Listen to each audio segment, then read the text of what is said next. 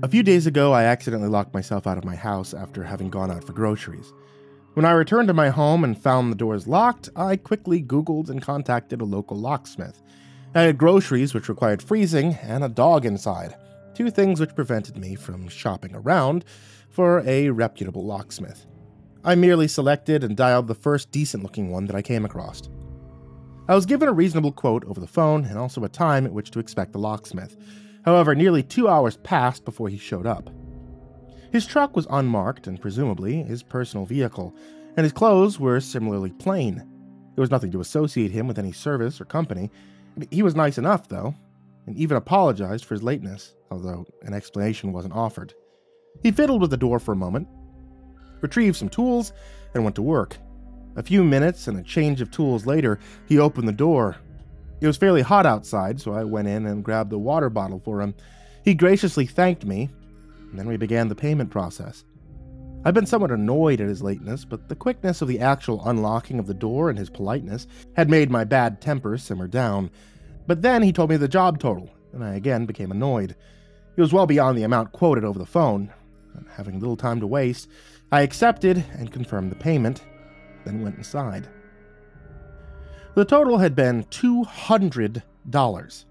I had had plans that day, so I put the incident in the back of my mind and went about my business. The following day, while relaxing and browsing stuff on the internet, I remembered the cost of the locksmith job, which had all but drained my wallet. I googled locksmith services in my area and even contacted a few of them, and came to the conclusion that I had been ripped off considerably. The job had been during regular operating hours, the locksmith had been late, the method he'd used was amateur, likely to cause damage to the door, a risk I was not forewarned about, and he wore nothing which identified his company. In hindsight, everything about the experience was unprofessional.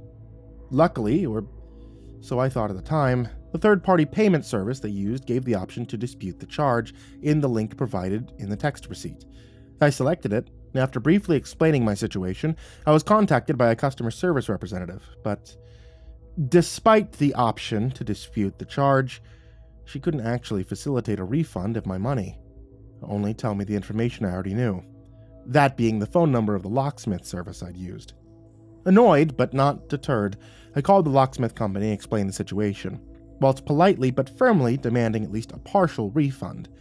But not only did they deny me a refund, they said the rate was fair because, and I quote, we got you inside, didn't we?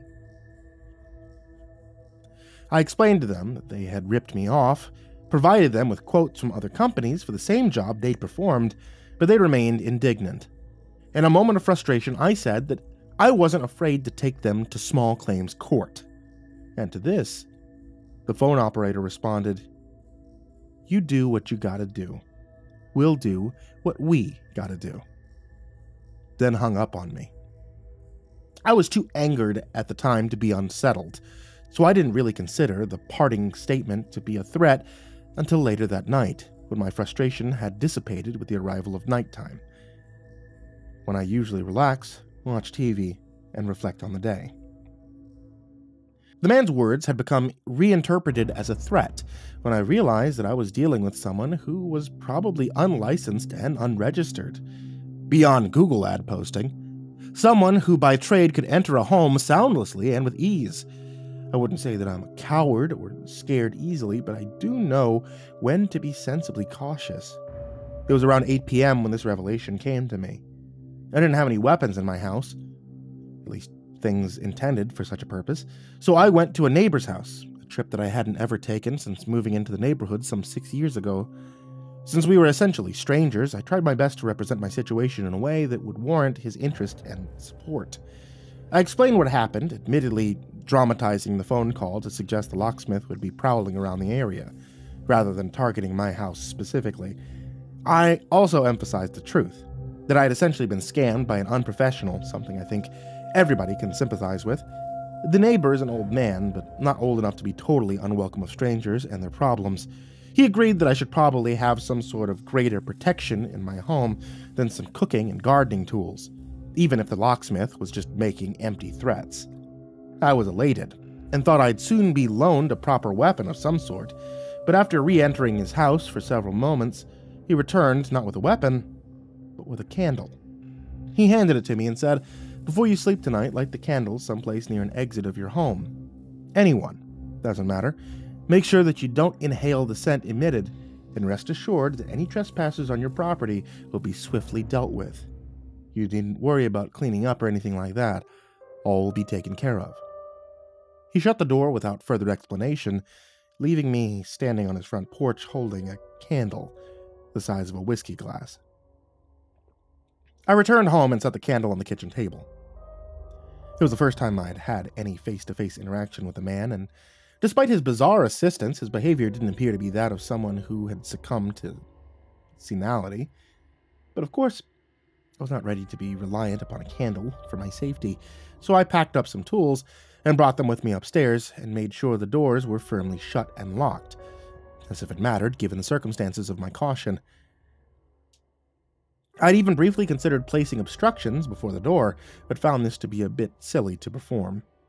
I'm not a superstitious person, and I wouldn't have even then said that the candle had any relation to superstitions or the supernatural, but I did go back downstairs and light it.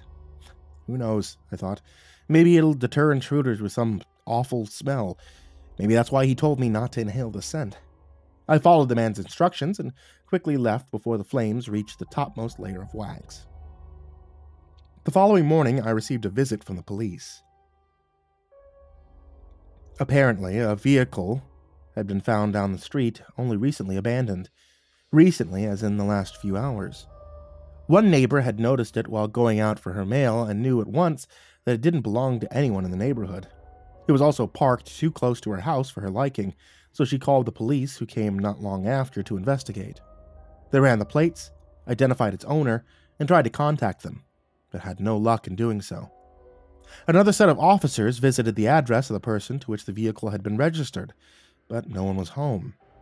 The police then went around my neighborhood asking if anyone knew the vehicle's owner.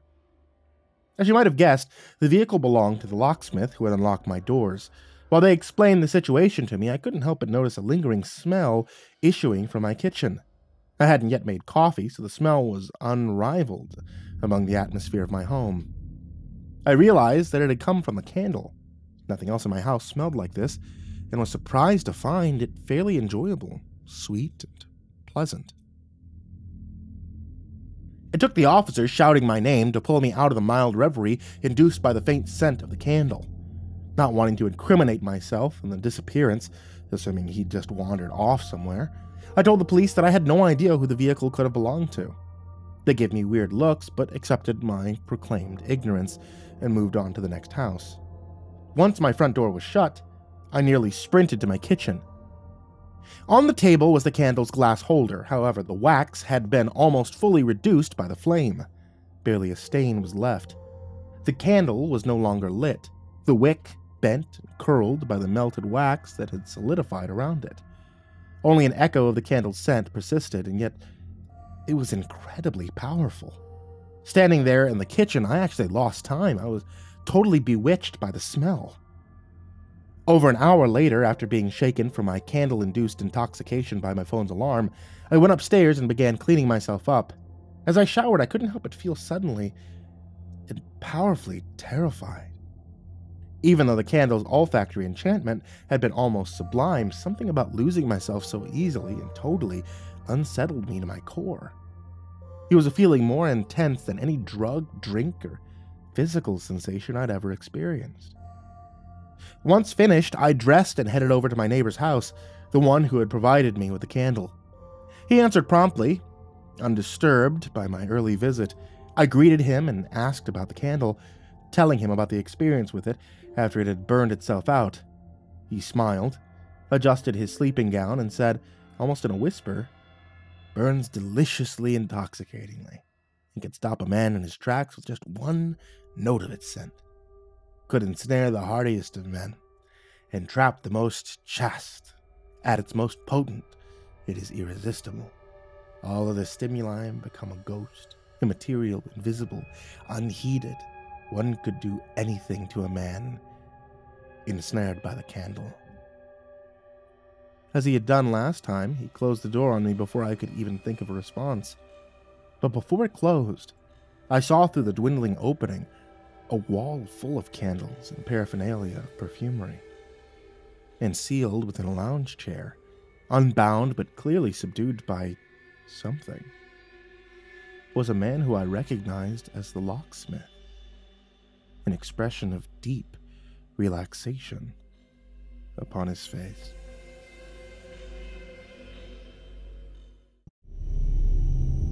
Everybody has that story to tell. The memory hangs out in the backseat of your mind, waiting for the right moment to chip in the group and share your childhood fear. The first time you were scared, the first time you felt real fear. By the time you tell a story, you almost forgot it had ever happened. Maybe it was just a fever dream you had as a child, Maybe the circumstances were fabricated by your adolescent imagination, even though you doubt it ever happened. The memory still lingers, held dearer than what should have been your cherished moments when you were younger. When you think back, you don't remember the first time you tied your shoes or the first basketball hoop you made. You think of that story. It's there, waiting, almost as if it has unfinished business with you, like you're not allowed to move on from it yet. And you tell the story with a big smile on your face. The ones around you laughing so hard they ugly cry because your experience was so real and relatable. It could have happened to them just as easily as it happened to you. Once you shared it, you feel better. And the memory retreats back to its den, hibernating until the stars align and it can torment you once more. I was at work when the opportunity presented itself. The night shift was over, and we were all in the locker room exchanging thick uniforms and heavy boots for crocs and basketball shorts. Terry was telling a story about his fear of rats, his face a half grin as he struggled to get through it without laughing. I was on the bench, unlacing my boots. Dude, I've been looking for this fucking rat for a week. I would always see it out of the corner of my eye, the little bastard scurrying around while I was trying to sleep. Turns out it had made a nest in the box spring. I've been sleeping on it, dude, Terry says, shivering as he thought back. The other guys laughed, a cackling chorus of grown men amused by someone else's demise. I laughed as well. Terry was well known for his fear of rodents, and was heckled about it constantly. They went back and forth over the details as I kicked off my boots. How do they deal with it? Do they burn the mattress? Did he let it sleep there forever? As the laughter dies down, I think of my story and wonder if I should tell it. At first, I shiver at the thought, but before I know it, I'm grinning myself and dying to let it out. The old memory resurfaces like a shark from the deep. A story that happened 23 years ago. A story about a beaver all right, I got one. Terry, you'll especially like this, I say, standing up. The guys listen, still wiping the tears from the rat in Terry's mattress. It's been so long since I've thought of the beaver, and the details flood in as I picture it in my head. All right, so this was a really long time ago when I was a kid. I think I was five or six. Anyway, I used to live in this trailer park over on Rainbow Road. That one over there by the highway? I vaguely point north as I close my locker. There's a few interjections before the story continues. Wait, Rainbow Road? Yeah, I know that place. My aunt used to live there. Used to live in the cans, Jay? Over by 94? Yeah, a long time ago. Then ages, I say. And resume the story. Anyway, it was in the summer back in the 90s, and we were all playing outside. Not shit to do. There was nothing but trailers and a long line of mailboxes. We were all poor and there was no playground to play at, so most of the time all the kids would just group up and we would walk around and play with rocks and shit. We'd walk around all day, and our parents didn't care as long as we didn't go by the highway. They were always worried about a car hitting us, I say, and in my mind I can hear the sounds of cars passing by. So there's like five of us playing by this trailer that didn't have anyone living in it. And all of a sudden, one of the kids just freezes and says, uh, What's that? So we all look, and sitting on the porch of the trailer is this big fucking beaver, just staring at us, I say. the beaver's black eyes and teeth clear in my mind. I shudder at the thought of it. The guys laugh and Terry visibly cringes. So we're all frozen there, all of us, too scared to move. We'd never seen one before. We're all terrified of this beaver. It's just staring us down. We're just waiting for it to rush us, like it was gonna eat our bones or something. Really scary shit. Anyway, so there's this girl standing next to me. I think her name was Kirsten.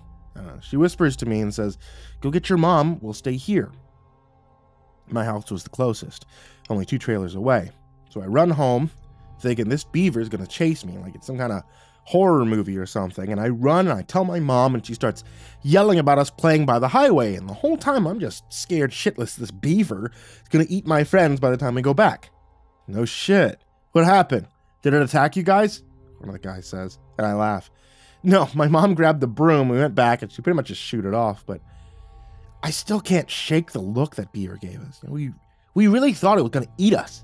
Like fucking hate beavers, dude. I finished the story and they all laughed. All except Terry, who looks like he found something new to add to his list of rodent fears. I chuckled to myself at the thought of the memory, feeling a bit of the weight lift from my mind, like a shred of the trauma is healed. After some brief shit talking, we all punch out and leave the building, everyone walking to their cars with their heads held high. Now that the day's work is done, I wave goodbye and get in my car. As I watch the other guys pull away and drive off, I find myself sitting there in silence, pondering the story I told. I think of the beaver story with its nasty buck teeth and black eyes. I think of how funny it is looking back and I hear the laughter of the guys in my head. The longer I think about it, the more the laughter fades away and the more I hear screams instead. I think of the story, suddenly feeling guilty, wondering why I said it in the first place. Maybe after all this time, I'm just trying to make myself feel better. In my head, the memory unravels. I think of the story and how it's a lie. There's no beaver. There never was. I lean my head on the steering wheel. I hadn't thought of it in so long, I was sure that I could leave it in the past. I hear the screams, my own screams and those of the other children. I think of the unexplainable memory pushed so far back in my mind.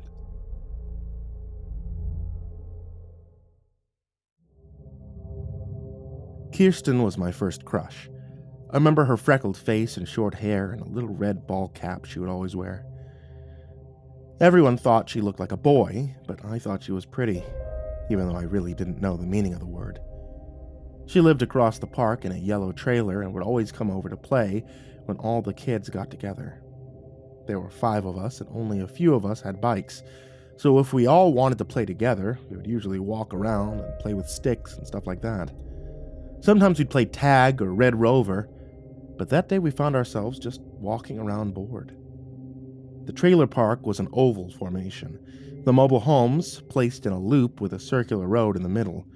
It was surrounded by trees except for the side I lived on that was tucked into a hill that the highway was built on.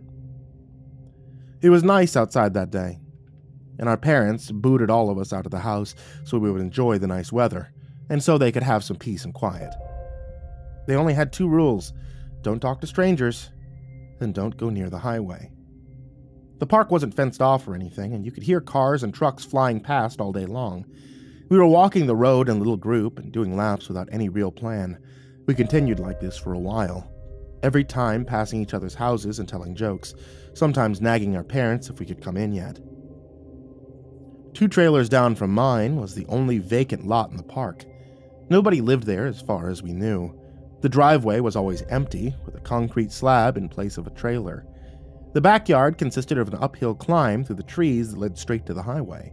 It was silly, but between the emptiness of the vacant trailer and the sounds of the highway, it felt like that specific lot was separate from the rest of the park. I don't know if it was the shade from the overgrown trees, the layer of old pine needles on the ground, or the dead sticks scattered about the unkempt yard. There was always something about it. Like it was in its own little bubble. And that was when the dares started. On that particular boring day, one of the kids had the idea that for every lap we took around the park, one of us would have to step foot on the lot. The mini barren zone always gave us the willies, and the thought of pushing the boundaries of the scary property gave us all a shot of rebellious adrenaline. At first, I thought it was scary, and I was worried about getting in trouble. But when I saw Kirsten perk up giddily, I decided to play along so I could impress her. Whatever I could do to seem cool and make her smile. It felt like we were doing something bad, and the excitement of who would go the furthest would hurry us along as we walked each lap around the park. We would take turns. Each lap, one of us would walk into the driveway, the next would go up and touch one of the sticks, etc., etc. I remember on one of my turns, I crept into the yard behind the little driveway and sprinted back, comically yelling like something was chasing me all the way back to the road. Looking back, it was immature, but it felt like the unexplainable gloom was always trying to nip at your heels. Hours passed as we repeated the cycle. A lap around the park, then one of us running in. There, towards the end, we were jogging around the park, all of us excited to take our next turn.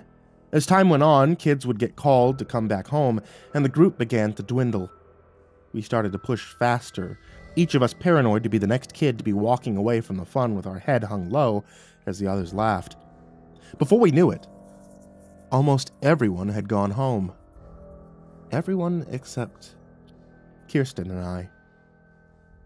I remember it being my turn next, and the both of us running back to do one more stunt. The sun was starting to set, and we knew any minute our parents would call us. I remember running alongside her, sweating and gasping for breath as the laps tired our legs. Kirsten huffed and laughed as she ran, holding the bill of her ball cap so it wouldn't fly off. This one would be the craziest, I thought. It was my chance to really impress her. I would go into the woods this time, maybe even close to the highway. When we came to the driveway, however, we both stopped. Our smiles faded, and the sun seemed to fizzle away in an instant. There was an old rundown trailer on the vacant lot, like it had appeared out of thin air. The dingy green paint was peeling, and the porch looked like it was about to collapse. The drapes in the windows were nicotine stained and ratty, barely concealing the complete darkness within. As I watched, the front door creaked open slightly. From the darkness within, a groaning whisper escaped. No lights on inside, no car in the driveway. What the? I looked at Kirsten for validation, but she wasn't even looking at the trailer. She was looking at a woman in the yard. It was then I noticed her, off towards the trees. She was standing with her back turned, and even though we couldn't see her face, we knew something was horribly wrong. Once white clothes were heavily stained and ripped up, fitting awkwardly on her frame. One of her legs was bent backwards, and one of her arms was missing, a heavy drizzle of blood oozing from the stump. Despite how mangled she was, she stood perfectly still. We just stood there for a time, both of us silently gawking at her. The air was chilly, like a temperature drop before a bad storm. Kirsten looked at me, the color drained from her face. Without a word, both of us looked in the direction of our homes to see which one was closest to run to. When we looked back in the direction of the woman, we noticed she had silently moved closer. Her back was still turned, but we could see the damage clearer horribly road rashed muscle, black streaks on her clothing from the combination of tires and asphalt. What do we do? Kirsten whispered, her voice a whimper. I. I don't know, I managed, my bladder suddenly feeling like it was going to burst. I remember my legs shaking. Maybe we could. Ahead of us, the woman turned. Not in a normal sense, but like she blinked to facing a different direction, like someone had flipped a paper over while our eyes were closed. The sight of her face provoked a gasp from both of us. I was crying now, filled with the confused fear you have when you wake up from a terrible nightmare. The woman was missing her bottom jaw, and with it, half of her upper face. The only identifiable thing left of her top jaw was a hanging, bloody tongue, and her two front teeth.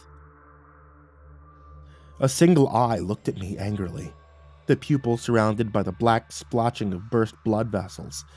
No sound emitted from the woman, but seeing the way she stood there, frozen in place, I couldn't explain it. Something was just wrong. Horribly wrong. Your house is closer. Run, get your mom, Kirsten whispered, her voice trembling. Her breath came out as fog. The mangled woman remained in place, but her single eye was locked on Kirsten now. Before our eyes, she blinked forward, three feet closer in Kirsten's direction. I wanted to reach for her hand, but it seemed so far away. I looked at her freckled face, tears streaming down them as she stood as still as possible. But, I whimpered, and the mangled woman blinked again, a few more feet, facing my direction. Without a single sound, the eye glared angrily at me. I sobbed as she grew closer once more, her eye dilated in response to my noise, and at her side, her only remaining hand twitched. Just go! Kirsten's shout echoed across the park, rustling birds from the trees. I turned and ran. My shoes skipping down the sidewalk. I couldn't breathe. I looked over my shoulder, at the terrified look on Kirsten's face, and the woman shifting closer, burning itself into my memory. Even as she drew closer to her, Kirsten kept her eyes on me, weeping silently as she watched me go, as she made sure I could get away. My house was only a few trailers away, but I felt like I was running across town. My legs were weak, my thoughts raced. The further I got from the yard, the warmer it seemed to get. The sun began to feel hot, but my blood was still cold. I tried to focus on the patio door to my home where my mom would be inside, where I could get her to save us. The adrenaline crawled across me like ice, and I thought just for a moment that everything was going to be okay. It was all just a nightmare. My mom would show up and fix things just like she did all the other times I had a problem. By the time I made it to my yard, Kirsten screamed. The shrill cry of terror and pain made me stumble, and I fell to the ground. I looked behind me frantically, but Kirsten and the woman were gone. All I could see was an empty yard, and I started shaking. I looked to my front door, then back to where I left Kirsten. I didn't know what to do. I thought it would take too much time to get my mom. I shook and sobbed on the ground as my adolescent brain tried to compute the right thing to do. I just wanted to help. I wanted her to be okay. In my fear, I wet myself. Behind me, Kirsten screamed again. She was getting further away. I got back on my feet and I ran back to the phantom trailer, cursing myself for leaving her alone. We should have just ran together. Why didn't we just run together? No, no, no, no, I sobbed, my stomach desperately wanting to purge its contents. My legs begged me to stop, but I pushed them forward. My sneakers scuffed the sidewalk as the hot trail of urine ran down my leg. I ran past the neighbor's lot and rounded the corner of the trailer that shouldn't exist. When I got to the yard, I couldn't see either of them. The same awful chill returned, and a mist was working its way across the yard. My eyes followed the source. A ghostly fog that was cascading down the porch steps. It was spilling from the trailer. The tiny crack of the door and the darkness inside, the doorway groaned as the fog billowed out, widening slightly with a creak. The window started to bleed and the shutters shriveled like burning plastic. The worst thing of all was what I saw in the trees. The woman was dragging Kirsten by her arm, painfully whipping her around each time she blinked up the tree, dragging her towards the highway. I screamed for her to stop. The mangled woman paused only for a moment, her destroyed mouth reverberating with what I could only describe as a snarl. Kirsten howled in pain as she clawed at the woman, the bruising grip worsening as her helpless hands passed through a seemingly ethereal body. Unnatural and horrible, the mangled woman ascended the hill, each freeze frame blink bringing them closer to the roaring traffic. I ran after them. I made it halfway across the yard before my foot caught something, sending me face first into the foggy ground. My palm slapped the ground, softening the fall on something rough and sharp. I tried to get up, but something grabbed my ankle. winding tight like rope as I tried to shake it free. Kirsten's screams got weaker the further she got from me. The fog dispersed as I thrashed to be free, and though I saw no grass at all, the canvas of pine needles and leaves was replaced by hundreds, thousands of dead birds. I looked behind me and shouted for help, hoping to see my mom or one of the neighbors rushing to help. I saw nothing but an empty street and twisting vines wrapping around my ankles. When I turned back to the hill, Kirsten was holding onto a tree, trying to resist the mangled woman's grip. Her fingers clung to the bark and her sneakers formed jagged ruts in the earth. This slowed the woman for a moment, but she retaliated by breaking Kirsten's wrist. The wet snap followed by the worst sound I'd ever heard. I wanted to say I broke free. Sometimes when I dream, I break free from the vines, and I make it through the fog. Other times, grown ups show up and everything's okay. Sometimes Kirsten has the strength to free herself, and we get away together, and sometimes there's no mangled woman at all. It's only a beaver. In reality, the true ending can never be denied. The version where my scream only joins hers. Scream as I reach helplessly and the mangled woman makes it to the road. I watch as the truck takes them. An impact so forceful and sudden, they simply blink away, leaving nothing but streaks on the highway and a hat in the wind that match the color. The fog recedes into the trailer like a movie being rewound. The blood seeps back into the glass, and the curtains unshrivel. The warmth returns, and the parents flock outside, mortified and speechless as they press me for answers. In time, my screaming fades, replaced by the howling of sirens in the distance.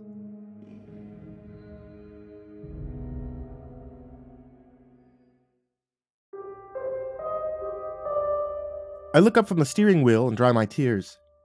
The parking lot is empty, and everyone else has left for work except me. I think of the images in my head the weeping eyes I can't unsee, cries I can't seem to forget. When I start my car and shift out of park, I think about the years that have passed by. I think of how I never really spoke to my friends again after that day, and how everyone seemed to chalk it up to two kids who were never supposed to play by the highway. The park seemed to fall apart after that. Kirsten's parents moving first with my family to follow. I heard some sort of mass exodus followed. A tiny little poor park, reduced to nothing but a memory to the nearby bars of traveling truckers. Another traffic accident. Another poor child lost. Tonight, instead of taking my usual route, I took a detour. I take the expressway until I see a road. One so ignored and unkempt you wouldn't know it was there if it wasn't for the reflecting green sign. A sign faded and almost illegible with age. A sign that reads Rainbow Road. I turn onto the winding path, one that feels more like the entrance to a cemetery than a back road. My car rolls over broken pavement and traverses potholes until I see something in the distance. The only landmark in the otherwise empty place that's been consumed by weeds and overgrowth. As I approach the line of old rusted mailboxes, I slow down. Ahead is the concrete circle. But there's no homes. Only a loop that's been slowly swallowed by the forest surrounding it. My headlights cut through the unnatural dark, the special kind that engulfs in the middle of nowhere. I think of a hot summer's day and a bunch of bored kids with nothing to do. Letting my car idly crawl, I pull into the loop and survey my surroundings. On Rainbow Road, there are no mobile units to be seen. Each passing slab of the empty lot looks like a gravestone, a gritty reminder of young little lives that will be forever changed. I pass by Kirsten's old lot, think of her freckled face. the way she laughed, and the way she would roll her eyes when I made stupid jokes. I passed by the old lots of my friends' houses and wondered where they're at in the world. I passed by the lot where my home used to be, and I think of my mother. A time before the therapy I went through. A time before she started talking less and less. Driving past the old vacant lot, I see no mangled woman and no green trailer. Only the light of cars flying by the highway on the hill beyond. I look at this one longer, expecting to see something more, something of meaning. I look over the weathered surface of its foundation, years of rain slowly chipping away at the concrete. The grass that's overtaken the driveway, the thin layer of gravel reclaimed by earth. I stare into the trees, I look at every wicked branch in the night, I search for those twisted limbs and malformed face and wonder if it's hiding somewhere in there.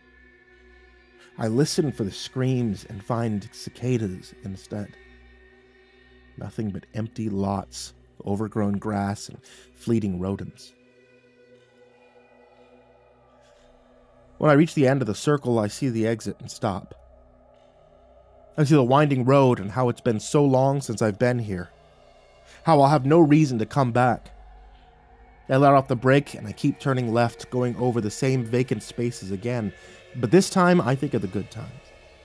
I think of every dare that didn't end in tragedy. I think of every boring summer day where we climbed trees or played tag. I think of every smile Kirsten made and how, how it would give me butterflies in my stomach. When I reach the end of the circle, I decide to go again. My head filled with laughter and smiles, the kind no longer thought by a late 20s man.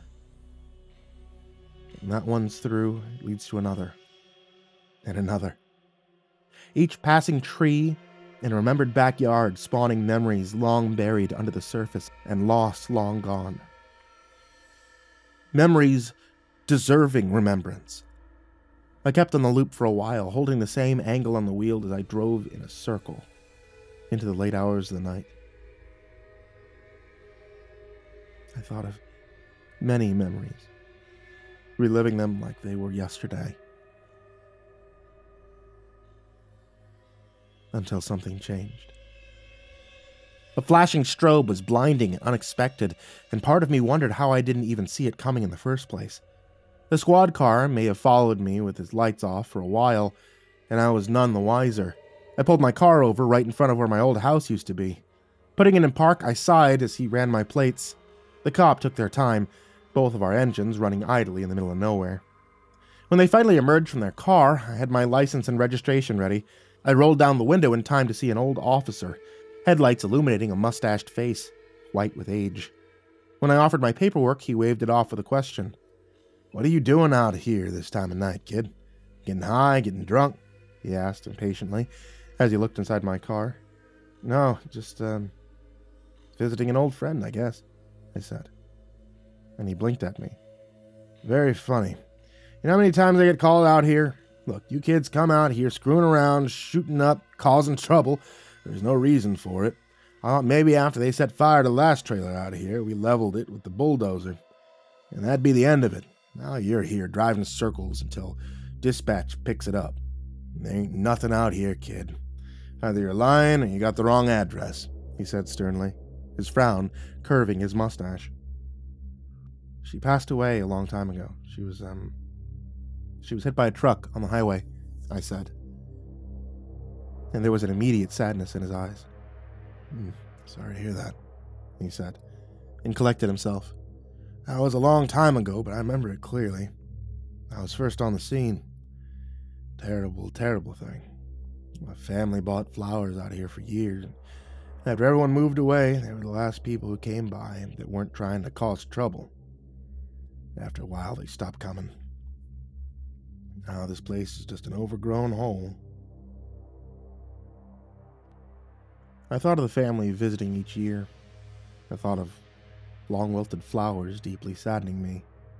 I looked around the park as the officer collected himself, looking over empty lots until my eyes rested on that particular one two doors down from mine. I felt the icy chill crawl over me again, but the officer's voice pulled me away. You, you're that boy. Never thought I'd see you again, let alone recognize you. Yeah, I haven't been here since it happened. Felt like I'd stop by, I said, peering through the light at him. Oh, I'm sorry I gave you such a rough time. I'm sorry about your friend. People like to come out here and cause trouble. Park's never the same after that. Once everyone moved out, it's been a hot spot for squatters, and I liked for a while. It's private property. The owner calls and raises hell every time he sees people out here. I understand you're paying your respects, but I'm gonna have to ask you to leave. I'll follow you out, he said, starting to leave. Without much to say, I just nodded and rolled up my window. The officer started walking away, and I watched his silhouette shrink in the side mirror as he made his way to his car. When he reached the door, he stopped, his hand pausing as he reached for the handle. After a moment, he turned around and he started walking back. I waited for the mustached face to come into view and rolled the window down again. Hey, kid, he asked, his brow furrowing a little. Yeah, I said, the air feeling chillier, a light fog rolling over the road. The sight of it made me sick to my stomach. Back then, when the accident happened and I arrived on the scene, you kept saying the same things over and over. Green trailer, lady in the woods, he said, leaning on the door. I remember, I said, but I'm not looking at him anymore. My eyes are held ahead. You sure that's what you saw? Are you sure that's what happened? He asked. I could feel him studying my face. I'm positive, no doubt in my mind. Why? I asked, looking to the side of the road, to the darkness beyond the headlights. Oh, when we arrived, there was no trailer, no woman in the woods, either. I asked every resident in the park, nobody saw anything. We searched for miles, thinking maybe you were right. Someone had fled the scene, even got a helicopter. Did you find anyone? I said, gripping the steering wheel. Nobody. Ah. In the dark, I traced the faint outline of something ahead. Rectangular in shape. Yeah, but here's the thing. After talking to all the neighbors, we spoke to the landlord. When we mentioned what you said you saw, he turned white, almost fainted. Said it was impossible. Said he'd been running the park for over 20 years, and all that time there'd only been one green trailer in the 80s. He said, and paused to chew his lip. Young couple used to live there, pretty young woman, drunk for a husband. Whenever he wasn't sunk in a bottle, he was getting into drugs. Anyway, always late with rent, always yelling and screaming at each other. He said sometimes when they fought, he'd beat her up pretty bad. She'd walk around the loop waiting for her husband to calm down or fall asleep. Said she'd ask for help from the neighbors, knocking on doors as she went. They helped at first, but it happened a lot, he said. She would always go back home. They'd make up, Things would be quiet for a while. It'd always get bad again. You know, back then it was a different time. The police didn't do much to help her, I'm afraid. After a while, they stopped taking her calls. Not long after that, the neighbors stopped helping altogether. Just a thing that happened. The fog started to get thicker, but the officer didn't seem to notice. One night, after an especially bad fight, he beat her up real bad and he left. Took the car, left her there. Landlord said she came out eventually, limping, her face all swollen, mumbling his name as she walked the loop in the middle of the night, waiting for him to come back, I guess, but never did. She kept walking, even after everyone put their lights out for the night. When morning came, she was gone. Through the fog, I could see the outline of windows in the rectangular shape and the dark structure of a porch. The police found her on the highway, hit and run. Nobody knows if it was grief taking hold or if she was just trying to catch a ride in into town. Anyway, pulled the trailer from the lot never put another one on it. Never allowed another green one either. I thought of Kirsten's scream. The floating baseball cap. Oh, look, kid, I don't know what you saw that day, but I'm sorry. About the whole thing. I'm sorry you lost your friend. The officer said, patted his hand on the hood awkwardly. Do you see it now? I asked, pointing forward. The officer raised his eyebrows and looked into the distance.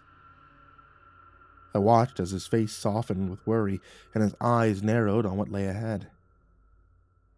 Without a word, he grabbed his flashlight and aimed it in the yard. With a faint click, the beam cut through the dark and he panned it slowly around the property. I watched it shine over the fog, and watched it shine on a familiar dingy green paint. Ratty stained drapes, and a mangled figure at the end of the yard. I don't see anything, kid, he said, and shut off his flashlight. I looked into the darkness, transfixed on what I knew was still standing there. Me neither. Sorry for causing trouble. You have a good night, officer, I said, and started rolling up my window. He looked like he wanted to stop me, but in the end, he stood there and let me go. I drove past the empty lot and rusting mailboxes, keeping my eyes forward until I was through the winding road that led out to the park. I didn't realize I was holding my breath until I was turning back onto the main road. Once I was out, the icy feeling withered away, and I was welcomed back by the comfort of green traffic lights. As I left the park behind me, I released my grip on the wheel, and I felt the tension in my shoulders melt away. I sighed exhaustedly, keeping my foot on the gas until I made it to the clover leaf that led me here. I took the ramp quickly, knowing the highway would overlook the park and ultimately take me home. I didn't know why I took that way, whether it was just me being defiant, or maybe I just felt like I had to, or, or maybe inside the safety of my car I thought I'd be alright. Merging onto the highway, I sped onto the overlook and could see the empty park in its wooded sanctuary. Below, I could see the slow moving headlights of the officer leaving. The fog and the trailer were gone, and with it, the mangled woman. I returned my eyes to the road just in time to see a hitchhiker walking on the shoulder. They walked slowly, leisurely, kicking rocks as they went. As I approached, they stopped and looked at me, slowly waving as I rapidly approached. It was a little girl with a freckled face and a red ball cap. When I checked the rearview mirror, she was gone.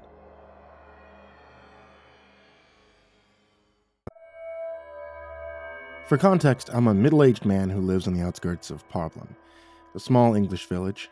My house is the only one on a long, winding country road, but it does have a bus stop. From my bedroom window, I can see it on the other side of the road. It's quite handy, really. I never really miss the morning bus to work. I know the schedule off by heart, that's why I was bewildered when I first noticed the 3:17 a.m. bus on Saturday, the 14th of October. It woke me up actually. I'm a light sleeper. I, I sat upright in my bed, I twisted my body around, propped myself up on my knees, and gingerly inched the curtains open. The old lamp post on my road illuminated an ominous, fully gray, non branded single decker bus. There was no interior lighting. I couldn't see a driver or any passengers. Now, this was obviously bizarre. Buses don't show up at that time in the morning, not in this country, not any town or city that I know, anyway. Still, I assumed, as any person would, that times were changing. It seemed like a good idea. A, bus for those who've missed the last train home after a night out, perhaps. That, that still didn't exactly make sense because very few people use my bus stop. It's a 10 minute walk from here to anywhere. I checked the schedule. Nothing. There was a bus at 11 p.m. on Friday evening, and there shouldn't have been another one until 6:05 a.m. on Saturday morning. I watched the vehicle pull away and considered perhaps that it wasn't a public bus. Maybe it was a hired coach. Seemed like a reasonable explanation. I put it out of my mind, and I went back to sleep. However, it returned the next morning, and it continued to do so for weeks. Again, I I checked the schedule. Still no mention of a 3:17 a.m. bus. I called the council. They assured me that it wasn't a public bus. They said it, they said I could contact the local authorities to report any suspicious activity, so I rang the police. they didn't care. They passed me over to some civil department with a forgettable name, and that department passed me over to another department. Nobody was concerned. It became clear that each person I contacted just wanted me to tire of the whole thing and stop bothering them. I gave up on seeking help, but I didn't give up on my quest for an answer. I started making notes. The bus always arrived exactly at 3:17 a.m. It would linger for approximately 30 seconds. Nobody ever boarded or departed the vehicle. I took a picture of it and posted it on various forums. Nobody could identify the origin of the faceless gray bus. But one comment did stand out. I, remember a user telling me that I should sell my house and move. They said the bus was there for me. More importantly, that I shouldn't, under any circumstances, board it. Now, that seemed like a rather obvious piece of advice. I wasn't planning on boarding a sketchy, unlisted bus in a pitch black hour of the morning. But everything changed on November 20th. The bus arrived on time, 3:17 a.m. I knelt on my bed and peeked at it through the curtains as it rounded the corner. Something something was different. Couldn't quite put my finger on it. Once the vehicle had rolled to a complete stop, I, I heard it. Somebody on the bus was screaming. I froze. I didn't know what to do. Silence followed, but I knew I hadn't imagined it. I knew I'd heard that scream. I, I watched the bus and I waited. 30 seconds passed. A lot of time passed. When I finally peeled my eyes from the road to check my phone, it was 3:29 a.m. The bus hadn't moved. The world outside was still eerily quiet. I reattached myself to reality and started dialing 911. The call kept failing, and then I saw that I had no signal. None. I usually had signal at the house. I was freaking out, so I, I got up to turn on my bedroom light. Nothing. I flicked the switch back and forth. No power. The story was the same throughout the house. I was about to head to the fuse box, but I looked out my living room window to see a blackened world. The lamppost was dead. It had to be a power cut. That was when I finally understood. For the first time in my 10 years of solitary living, that I was truly isolated. I mean, I had no neighbors, no friends, no family. I I was alone. The gravity of the situation dawned on me. I'd have to leave the house. My self preservation instinct was to stay indoors, but I couldn't ignore the disembodied scream that had echoed through the night. I knew it had come from the bus. I knew I couldn't live with myself if I were to just dismiss it. Armed with a winter coat and a wind up torch, I bravely ventured into the night, locking my door behind me. I tentatively strolled down my front path, stopping at the gate to cast the iron torch to the other side of the road. It revealed the gray, stationary, seemingly abandoned bus. There were no signs of life. Everything was so quiet. I swore to myself that I could hear my heartbeat in my eardrums. I swung the creaky gate open and began to cross the road, futilely attempting to steady my quaking knees. My torch wobbled in my shaky left hand, so I clasped my wrist with my right hand. I shone the light into the windows of the parked vehicle. There was definitely no driver, but it was an elevated coach. I mean, I, I couldn't see whether there were any passengers. I walked around the front of the vehicle, summoning the courage to enter it. When I reached the other side of the bus, I stood still. I tried to control my breathing. I, I eyed the doors for what seemed an eternity, and then I felt my entire body clench. The doors opened. The torch still wasn't revealing a driver. I, I couldn't see or hear anyone. I thought for a brief moment of that internet stranger, the one who told me not to board the bus, but I, I couldn't get the scream out of my head. My gut told me that somebody was in danger. I stepped onto the bus and started to climb the stairs. The doors closed. I held the torch before me, as if it were a weapon. I gradually climbed the next set of stairs to the elevated passenger platform. I spent several seconds on each step, savoring what I felt could be my final moments on Earth, and then. Then I illuminated the passenger area before me. and I was expecting to see nothing. No, there, there was somebody on the bus. The young girl was sitting on the middle seat of the back row. Her head was in her palms. She was crying. I, I couldn't see her face. Are you okay? I asked timidly. No answer. So I started to walk forwards. I didn't know whether there was anyone else on board, but I couldn't leave her. Once I was standing only a few yards in front of her, I knelt down in the aisle. Are you okay? I asked a second time. The girl's crying abruptly ceased, but she didn't lift her head from her hands. You shouldn't have boarded the bus, she replied. My torch died. I furiously wound the lever at the side, but it didn't spring back to life. The girl and I had been plunged into darkness, and then I heard the bus doors open. I slowly turned my head to the front of the bus. I, I could hear the sound of low, guttural breathing. It was followed by clunking footsteps. Dim moonlight shone through the front window, but it was sufficient to display a hulking figure at the other end of the aisle. A black specter with gangly limbs was moving towards us. He was hunched forwards, and his elongated arms dragged along the tops of the seats. He was tall, too tall, too wide to fit in the aisle. I turned to face the girl. She had lifted her head from her hands. I, I could barely see her. I could barely hear her. This was the last stop, she whispered. I was really hoping he wouldn't board. I wanted more time. Before I could even comprehend what was happening, I felt an icy limb coil itself around my ankle. I was yanked and I fell, my nose connecting with the floor of the aisle, and I heard something crack. I thought that was it. I thought that was the end, but I looked up to see the demonic creature coil its other limb around the girl's neck. It hoisted her from her seat. She screamed as she was lifted towards the indistinguishable figure in the aisle. I couldn't really see what happened in the darkness, but but I'll never forget the sound her body made when it was consumed by the black entity. It sounded like leaves crunching beneath walking boots. I had almost entirely lost my sense of reality at this point, but some vestige of survival instinct persisted in my fractured mind. I, I, twisted into my back and I looked down at my ankle. I, I couldn't really see what I was doing in the dark. I just knew that I had to act. So with my free foot, I stamped at the creature's limbs. I stamped as hard as humanly possible.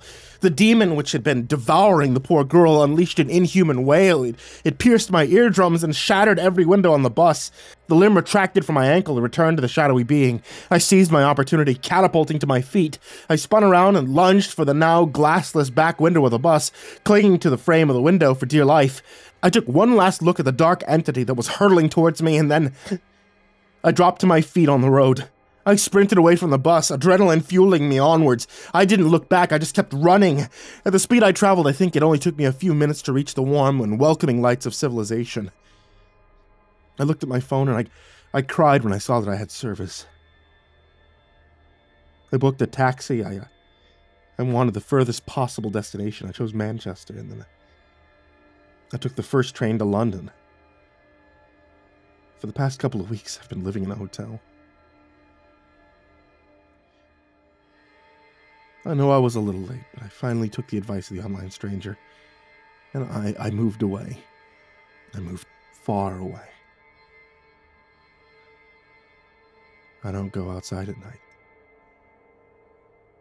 And I definitely don't look out the window after 3 a.m.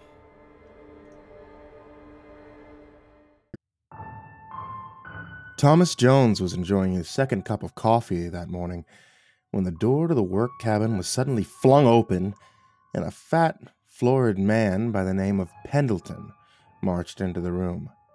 What in all the blue blazes is going on here? He said, casting a baleful eye at Thomas and the rest of his crew. We're nearly a week over schedule. You bunch of happy assholes are sitting on your butts drinking coffee. Now, wait a damn minute, Thomas said, climbing to his feet. Thomas was a big man and loomed over Pendleton. Still, he felt small at the look of the righteous anger on the other man's face. Maybe we could talk about this outside, he said, glancing around the room. It was obvious the other man was going to tear a strip out of him, but he'd rather not have it done in front of his crew. Pendleton smirked. Sure, let's talk, he said, turning his back on him and strutting arrogantly from the room. Asshole, someone muttered under their breath. But Thomas ignored them and followed after the other man, closing the door gently behind him. As soon as the door swung shut, he turned on him. You want to tell me what the hell's going on here, Jones? This demolition job was supposed to be finished last week. Then I got a call from head office telling me to get my ass down to Cornwall. No explanation, just that things had come to a screeching halt with the job barely even started. Thomas took umbrage at that. Who the hell did this guy think he was, anyway, with his ill fitting suit and superior attitude, coming down here and embarrassing Thomas in front of his crew? Does it look like it's hardly begun? He growled at the other man, widening his arms as if to encompass the entire street with its now empty plots. We'd been busy busting our asses to hit your outrageous deadline, and everything was going according to plan until we came to that monstrosity, he said, pointing to the end of the street, at the old manor house that stood grimly overlooking the sea. Pendleton followed his gaze. I don't see a problem, he smirked. That place looks like a harsh wind could blow it down. Thomas sighed and rubbed his head, beginning to feel the first pulses of a migraine. Look, it's hard to explain, so. I'll just have to show you, okay? Pendleton shrugged, uncertain now, and not sure what the other man was getting at. Thomas took his silence for consent and walked a little ways down the street before jumping into a nearby dumpster and firing up the engine in a cloud of black diesel smelling fumes. Watch this! Thomas yelled over the roar of the engines, driving slowly towards the old waiting mansion. Pendleton followed on foot, careful not to get any of the black smoke on his shiny suit. When Thomas came to the mansion, he did a skillful turn, so he was now facing the grounds. The hanging gates thrown open as if in some kind of dreadful welcome. You ready? he said, looking down at the other man. What is this, show and tell? Pendleton yelled back at him. Just get the hell on with it, Jones. Time is money. Thomas nodded and drove slowly forward. As soon as the front tires hit the property boundary line, the dumpster's engine suddenly cut out. Thomas knew it was no good, turned the key, cranked the engine, but nothing. The big yellow dumpster ignition had just cranked over, but never catching until at last gave up, throwing up his hands in frustration. You see what I mean now? he said, glaring down at Pendleton. You just flooded the goddamn engine, is all. Get down from there, let me try it. I was driving these things when you were still playing with your Tonka trucks. Be my guest, Thomas said, jumping down and smirking as the fat man struggled to climb into the torn leather seat. Okay, baby, Pendleton muttered. Give it up for Daddy. He slowly pumped the gas before turning the key, but no matter how he cursed and cudgeled, the engine simply wouldn't catch. Now put the gear shift into reverse, Thomas called up to him. Try her again. You lost your fucking mind, Pendleton snapped. The engine's dead. Faulty equipment, that's all. Humor me. Thomas smiled up at him. Muttering, the other man did as he was bid, grinding the gears into reverse before turning the key. Immediately, the engine roared into life, and Pendleton let out a cry as he was flung backwards before slamming on the brakes.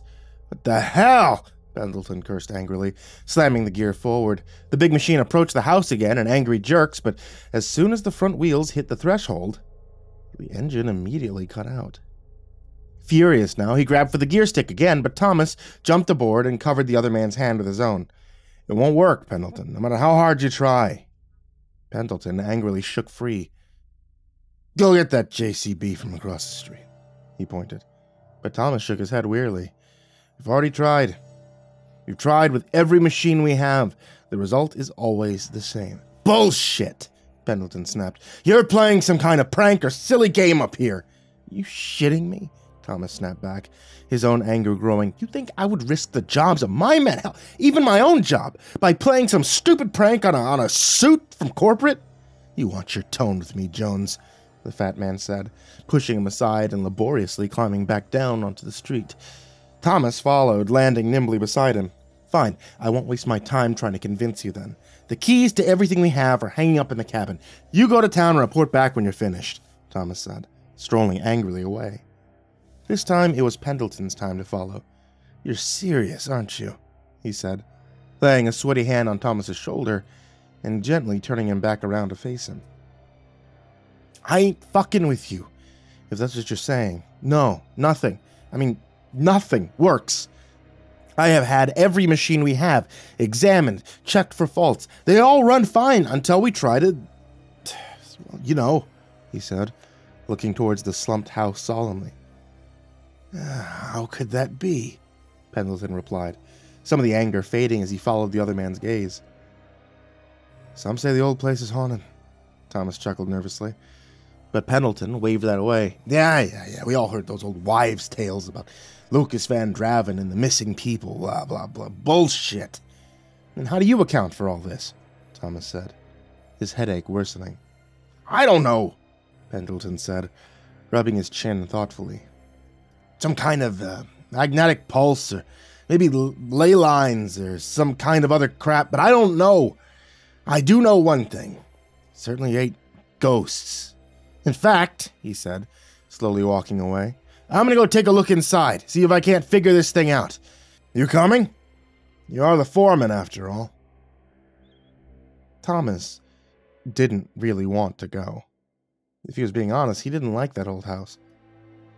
It had a feeling about it, like something was trying to weasel its way into your mind, stand in its shadow. It was akin to being buried alive, Still, he heard the challenge in the other man's voice. He didn't believe in ghosts and ghouls and wasn't about to let this corporate asshole show him up. Fine. Let's go take a look if that's what you really want. Together, the two men headed back down the street, their shadows growing long behind them. The Van Draven house stood as it had for almost 200 years, overlooking the dark waters of the Atlantic Ocean. It was a lonely place, abandoned and spurned by the locals of the village and surrounding areas who had grown up listening to the ghastly tales of Lucas Van Draven, who had murdered his wife and servants. About dark rituals and things left best unspoken, found in the spider infested bowels of that old house not to mention the people from outside who had tried to renovate the old place. Many had gone missing or turned up dead. Madness, murder, and suicide had soaked into the very fabric of the Van Draven house, its dark legacy haunting the area with an unimaginable dread. So, what do you think? Thomas said as they stood on the threshold. Looks like a real shithole, Pendleton replied, taking in the overgrown gardens and peeling paint. Those lions, he said, heading towards the entrance of the house before squatting down and tearing away the crawling ivy from the two statues. That some kind of coat of arms? Thomas asked, almost going to his haunches, interested now despite his initial fear. Looks like it, Pendleton replied, running his blunt fingers over the engraving, which was faint but still clearly showing a clipper ship riding atop a huge wave. Some kind of bird soaring overhead, a struggling fish caught up in its great talons. Chiseled underneath, in stark relief, was one word Van Draven. Charming, Pendleton muttered, standing and wiping the mud and leaves from his trouser leg. All right, let's take a look inside. I already tried that. The old place is locked. Unless you want to crawl through that, he said, pointing to one of the many shattered windows where jagged glass shined wickedly in the fading light. No need, Pendleton replied loftily. I just so happen to have the key, he said, reaching into his jacket pocket and pulling out a large bunch of keys attached to a metal ring. How the hell did you get those? When one buys a property, or in this case a whole street, one gets everything that comes with it, including the keys, not that they come cheap. The parish council asked an absurd amount for a place already half abandoned and falling into disrepair. The entire street was almost completely empty, and those who remained were easily bought off. Apparently, they weren't fond of living too close to this old relic, he said, slapping one of the faded pillars. Thomas winced at that. Pendleton laughed at the look on his face. Don't worry, Jones, it won't bite you, he said, slapping one meaty hand against the old house again, but suddenly he hissed in pain, the palm of his hand bleeding. God damn it, he said, picking a piece of masonry from his hand. Fucking place should have been condemned years ago. Here, Thomas said, handing him a grease stained bandana from his coverall pocket. Thanks, the other man replied, looking for a clean spot before quickly wrapping up the still bleeding wound. Look, maybe you should go clean that up. We, we can always come back tomorrow, and didn't I tell you? Time is money, Jones, he said, selecting a large black pitted key and ramming it home into the lock. Let's go take a look before it gets too dark. I doubt very much the electricity is still on in this place. Fine. Lead the way. Not sure what you're hoping to find, but it's your party. Pendleton ignored that, and together, the two men stepped inside. The Van Draven house had once been a magnificent mansion built for his new bride. Lucas Van Draven had spared no expense.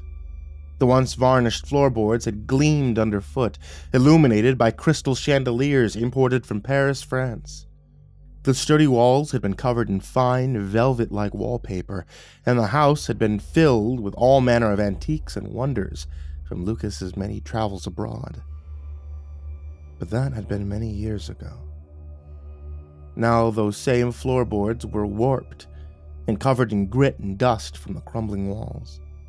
The once massive chandelier that warmly illuminated the main entrance lay dark and broken the many cracked crystals hanging like the fallen tears of those who had succumbed to the madness within. Jesus, Pendleton said, wrinkling his nose. Damn place stinks. The hell is that smell? Mold, damp, decay, Thomas replied. We're probably taking years off our lives by breathing the damn place in. Still, he wasn't convinced. There was another smell that seemed to lay just beneath. A dark, rotting smell that seemed to stick to the inside of your nose and slime the back of your throat. I can see why the locals think this place is haunted, Pendleton said, scraping his shiny shoe tip through the broken plaster and small pieces of splintered wood. Look there, Thomas said, heading through a nearby hanging door into what looked like it must have been a study or a small library. Look at this. Damn thing must be over a hundred years old, maybe more, he said, running his hand over the desk's varnished sides. Probably older, Pendleton said. Surprised it hasn't been removed. Not in bad condition. Well, not compared to the rest of the house. You think it belonged to him? This, um, Lucas Van Draven fella? Pendleton shrugged. Who cares? Come on, let's take a look around. Suddenly, there was a crash from upstairs, and a door slammed somewhere in the back of the house. Both men stared at each other.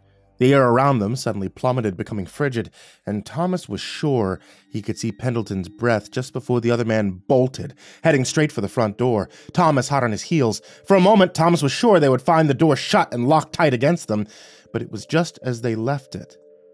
And both men bolted through, not stopping or slowing down until they reached the other side of the street. Both doubled over, breathing heavily. Oh, holy shit, what was that? Thomas gasped. Probably just the wind, Pendleton said. Either way, it scared the living hell out of me. You and me both. Thomas chuckled, feeling like a fool. Okay, okay. Pendleton straightened. I don't give a shit if that place is haunted or not. It's coming down one way or another. I'm heading back to Manchester now tonight. I'll send you a crane with a wrecking ball attached. The damn thing won't even have a chance to get close to the property. We just extend the crane arms, swing away, and down that happy asshole comes. With the paperwork and everything. Should be with you in a few days at the most. All right, Thomas agreed. Sounds like a plan. Sure, the boys would like a few days off to go check out the local girls. Sleeping in a metal cabin on a cot bed and working around the clock has made them a bit testy. A few drinks and a lark will do some good. Pendleton waved that away. Whatever, Jones. Just make sure the equipment arrives and you and your boys are ready to go. I want this shit taken care of ASAP. Remember, time is money, Thomas cut in. Yeah, I, I got it. Then there should be no problems, then, should there? Pendleton called over his shoulder as he walked away. Thomas said nothing. His eyes had returned to the Van Draven house as he realized once again he had been swallowed by its shadow.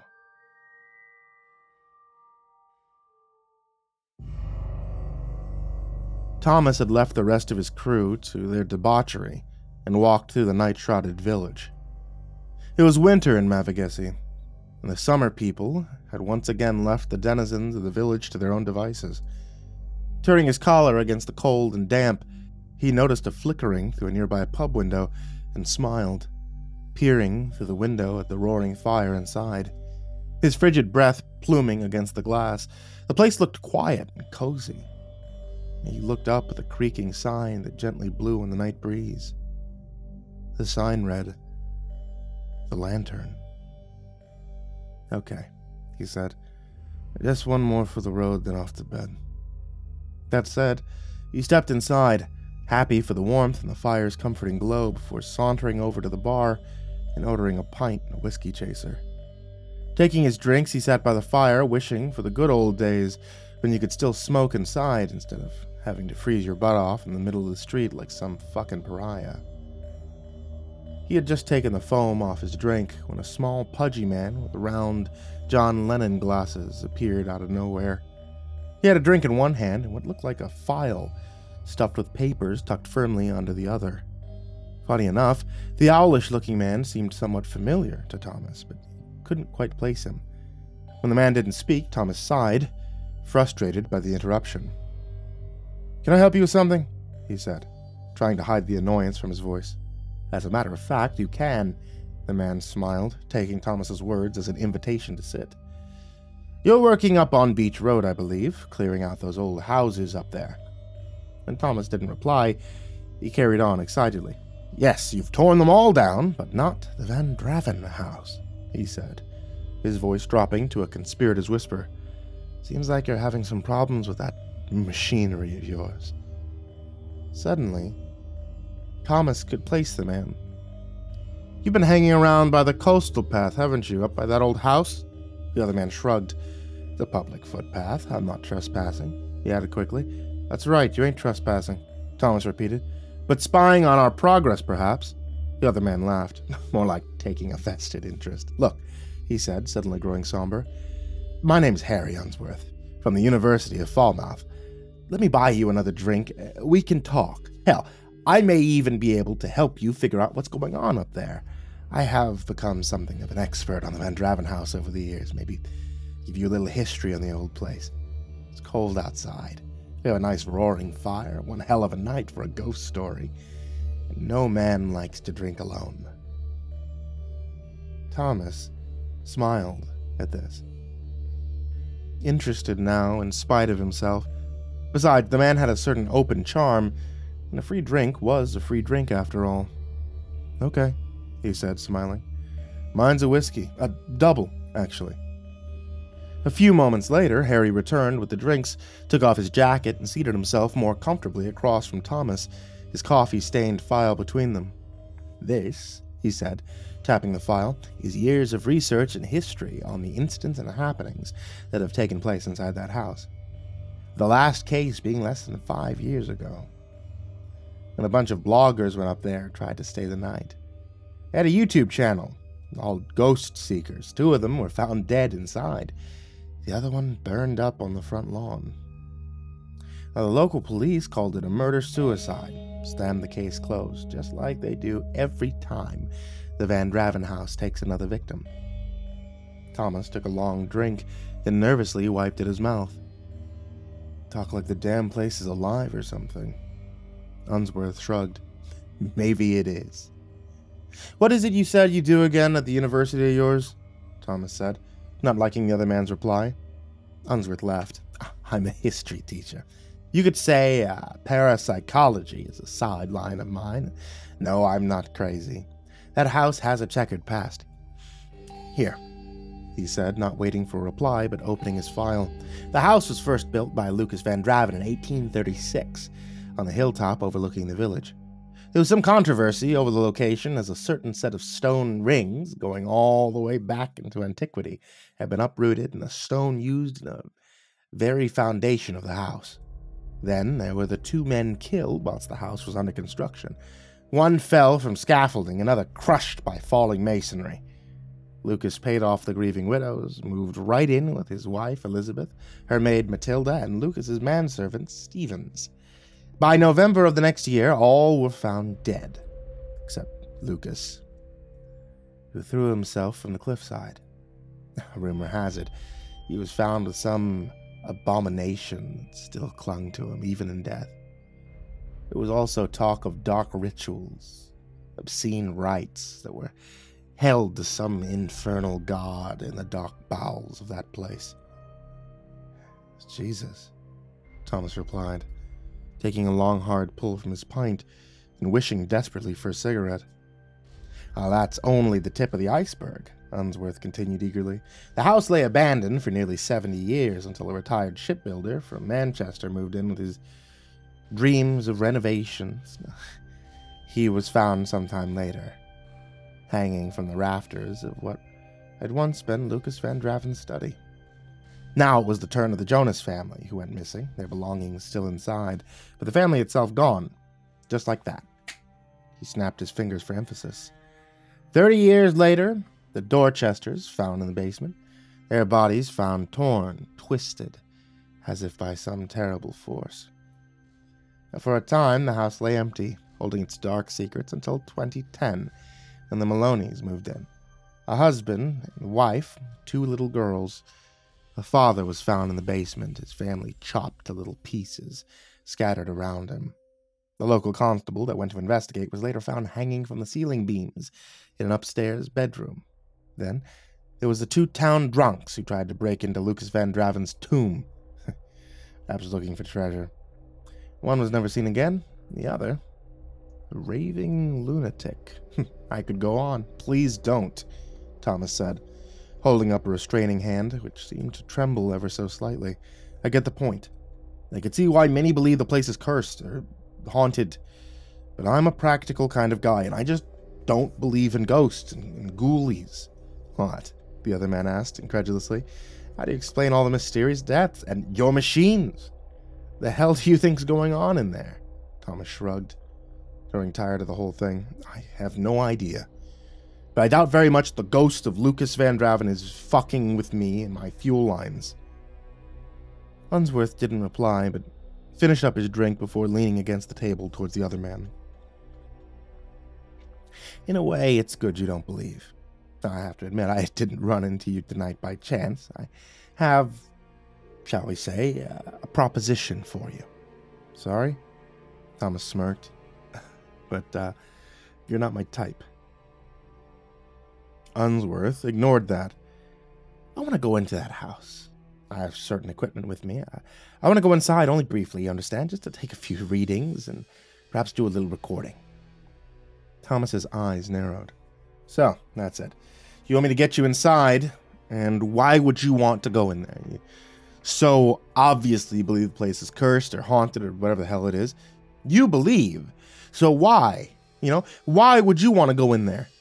because, Unsworth replied, just happy that Thomas hadn't walked out on him yet. Because if if I can prove it, if I can get a good reading or catch something on camera, I can finally get the university to take me seriously. Maybe even give me funding to study the paranormal right there, on campus.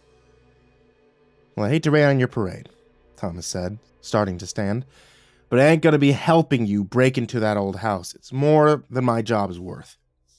A thousand pound, cash, Unsworth said, slapping a stuffed envelope onto the table between them. A thousand pounds right now, just for ten minutes, to just take a walk around and take a couple of readings. Thomas slowly sat back down. You're crazy, he said, eyeing the stuffed envelope. Look, Unsworth said, your crew are all down here pissing it up, chasing the village girls, and locals don't go anywhere near the place. Nobody will see us, and you're up a grand, tax free, for ten minutes of your time. Seeing Thomas needed a little more convincing, he reached into his pocket again and slapped another stuffed envelope on the table. It's another thousand, don't ask for more. I'm tapped out. Jesus, you're crazy, Thomas said. Still, he reached across the table and stuffed both envelopes quickly into his jacket pocket. Ten minutes, he said as both men climbed to their feet. You have ten minutes, and you're done. Sure, sure, Unsworth said, scrambling into his jacket. And don't worry. What could possibly go wrong?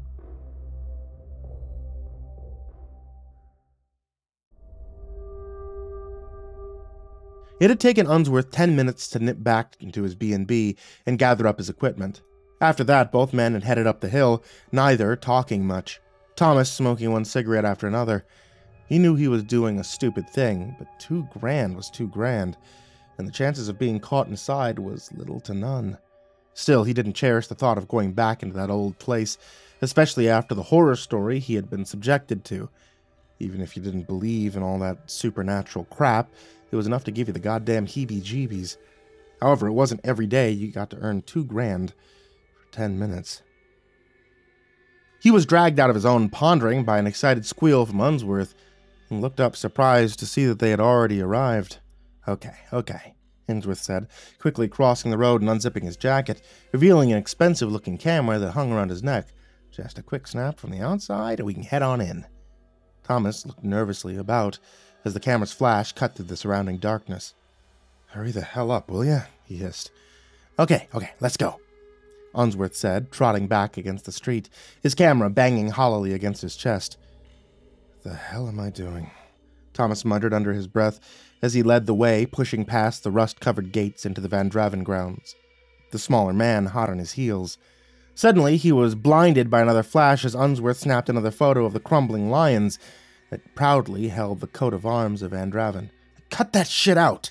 He angrily rounded on the other man. You take one more fucking picture before we can get inside, and the whole goddamn thing is off. Sure, sure thing, Unsworth said, quickly stuffing his camera away. Still, he buzzed with an excited energy that set Thomas's teeth on edge. Okay, Thomas said. We're going in through the back door. The thing is all rotted out. It should only take a quick shove and we're in. After that, you got ten minutes, not a second longer. Understood? The other man nodded eagerly. Let's go. The back of the Van Draven house was much like the front, overgrown with clingy ivy. The once marble flagstaffs covered with centuries of fallen leaves.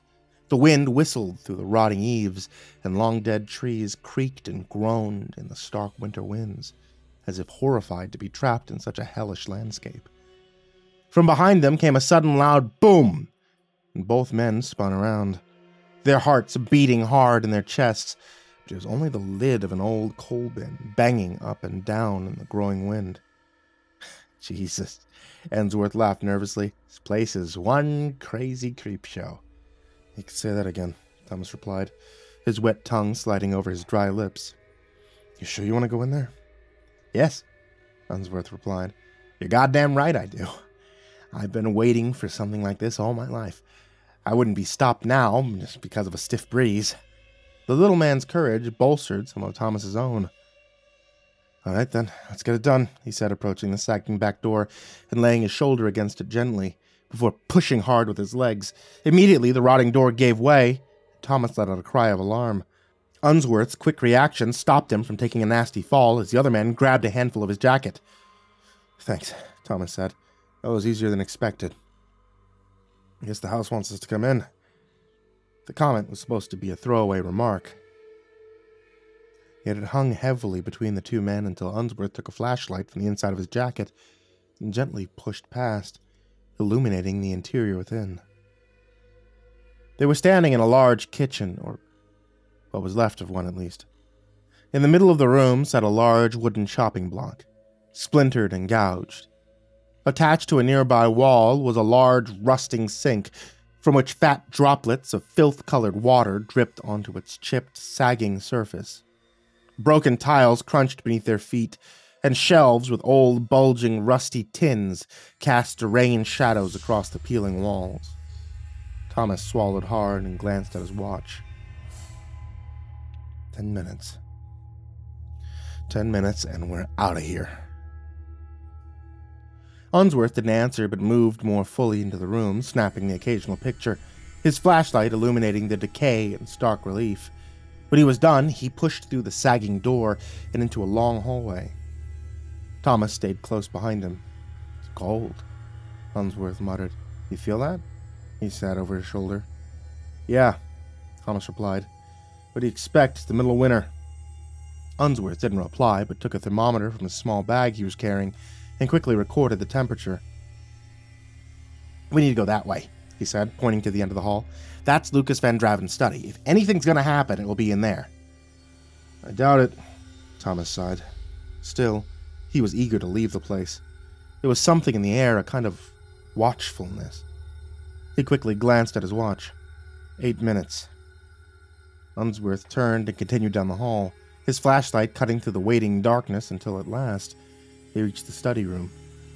With its ornate desk and rotting books that perfumed the air with the smell of rot and mildew, Unsworth stepped inside. Thomas was about to follow when a sudden hiss came from behind. With a cry, he swung around, flashlight trembling. Just then, the door between the men slammed shut. From the other side came a cry of alarm as Unsworth pounded on the door, frantically trying to get out. Thomas stood there frozen as a naked woman stepped out of the darkness. Two knitting needles sticking obscenely from her throat, blood oozing down her body. In her outstretched arms, she carried some kind of obscene creature that mewled and thrashed as if in terrible pain, its own rancid blood running down her arms. Through bloody teeth, she grinned at him. Oh, Lucas, she crooned. Oh, Lucas, what have you done? What have you done to our son? With an angry hiss, she flung the abomination at him, and with a cry, he threw up his arms, staggering backwards, landing heavily against the front door with a screech of fear. He tried to beat the creature away, but there was nothing there. The woman had completely vanished, and the house was deathly silent. Quickly, he scrambled to his feet. Remembering Unsworth, he grabbed for the study door, which opened easily to his touch. What he saw there almost broke his mind, and he took a step away, whimpering. Unsworth lay across the large ornate desk. Two old fashioned quill pens had been driven into his eyes, and his throat was a bloody ruin. From beside his body, a little girl's face suddenly appeared. She grinned at him slyly from her bloody mouth. Hey, mister, she giggled. You seen my sissy? She's around here someplace. A cold hand suddenly fell against his shoulder, and with a scream he turned and looked into the rotting face of Lucas Van Draven. In his terror, he forgot the little girl and staggered back into the room. You should not have come. Lucas groaned, maggots squirming in his hair. This place is damned. We are damned. We're trapped here. This place feeds upon our souls. It'll feed upon you too. You will spend an eternity of torment trapped in this place. No! Lucas cried, swinging his arms at the rotting corpse. But his hand passed through the thin air, and he ran, heading for the front door, but of course, finding it locked. This way, lover, a voice called from down the hall. A pale, bloody arm broke through the darkness, beckoning to him. The nails cracked and bloody. With a cry, he headed up the old winding staircase, desperate to escape the madness below. His mind started to fracture as the house came alive all around him. He could hear screams and gibbering. Faces appeared out of the darkness, their faces infused with torment and terror. With a cry, he flung himself into the first room he came to and slammed the door closed behind him. Inside, there was nothing but an old, rusting cot and a large, ornate wardrobe that now creaked open. It won't do any good to run away. A child's voice seeped from within. I hid right here. Right here, and Daddy found me. Always. The door slowly creaked open, and a dead boy staggered out. His eyes rolled white, his skin slate gray. A large carving knife jutted from his chest. His bloody Thomas the Tank Engine pajamas clung to his wasted body as he slouched his way towards Thomas. You should stay a while. he giggled. It's so beautifully dark here. The door he had escaped through was shaking now, and he could hear screams of anguish as dark, rotting blood seeped towards him. With a scream of madness, he flung himself against the room and hit the boarded up window, which instantly gave under his weight, and blessingly, he was falling. Splinters of wood and shards of glass all about him. As he turned and twisted in midair, he didn't see the rusting fence spikes that burst through his back and chest, impaling him like a bug on a needle. The last thing Thomas Jones saw as the light faded from his eyes, it was a multitude of faces. The windows of the house were filled with them, their hungry, grasping hands beckoning him to join them. Inside the Van Draven house, time did not stand still. It twisted and undulated Heavy footsteps echoed down the hallways. A scream of despair, followed by breaking glass, drifted from the kitchen. Somewhere in the bowels of the house, a child cried out in fear, and a woman's moans and sighs drifted down the peeling halls. In the parlor, a grandfather clock chimed softly, as it had done for many years, and would continue to do so for many more. And for now, the evil inside slept. And the house waited and waited and waited.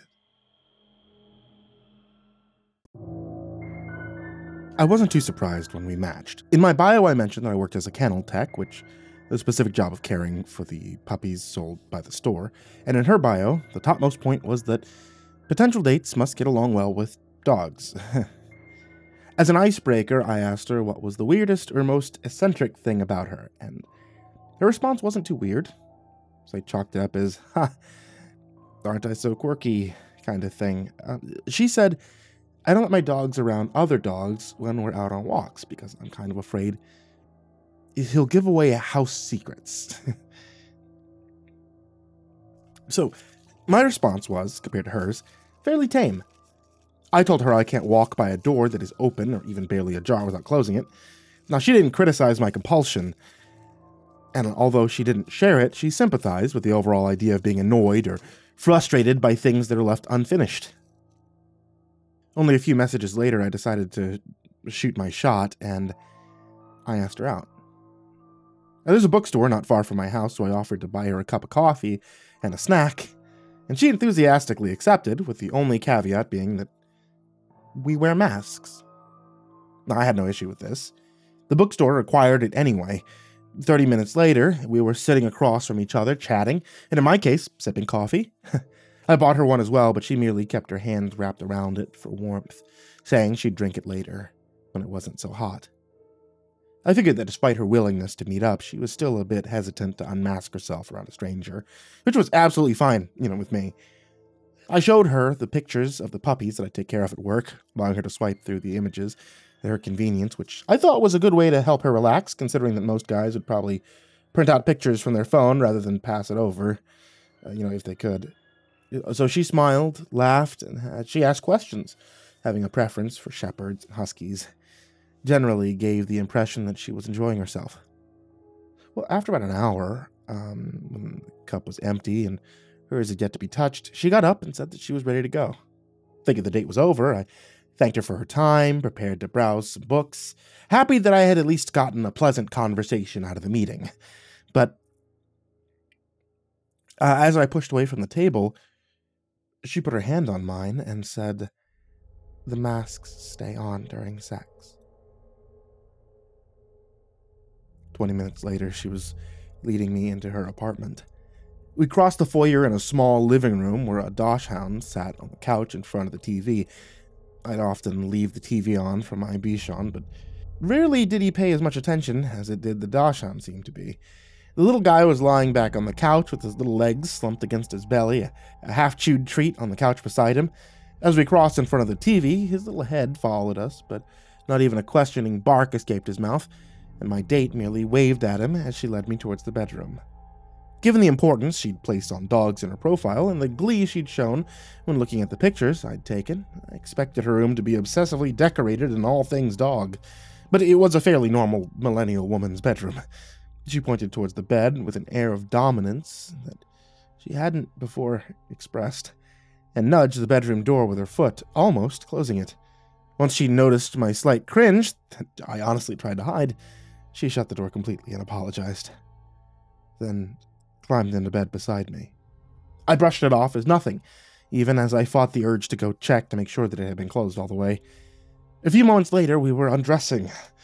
All clothing, except for masks, of course, tossed haphazardly around the room. Her curtains were closed, blocking out the diminishing sunlight, but there were purple and pink Christmas lights strung up along the walls, for the purpose of establishing what I can only imagine, as she called a chill vibe. It was a picture of her dachshund that saved me. On a bedside table was a picture of the aforementioned pup, sitting in her lap outside what looked to be a cabin somewhere. But the contents of the picture aren't important, it's what dimly reflected by the glass that caught my eye. Just as she wrapped her arms around me, right before the act had begun, I saw her closet door reflected in the glass. The closet door was ajar. I turned away, my horniness immediately overridden by the neurotic impulse, the ajar closet door like a fire that I had to put out.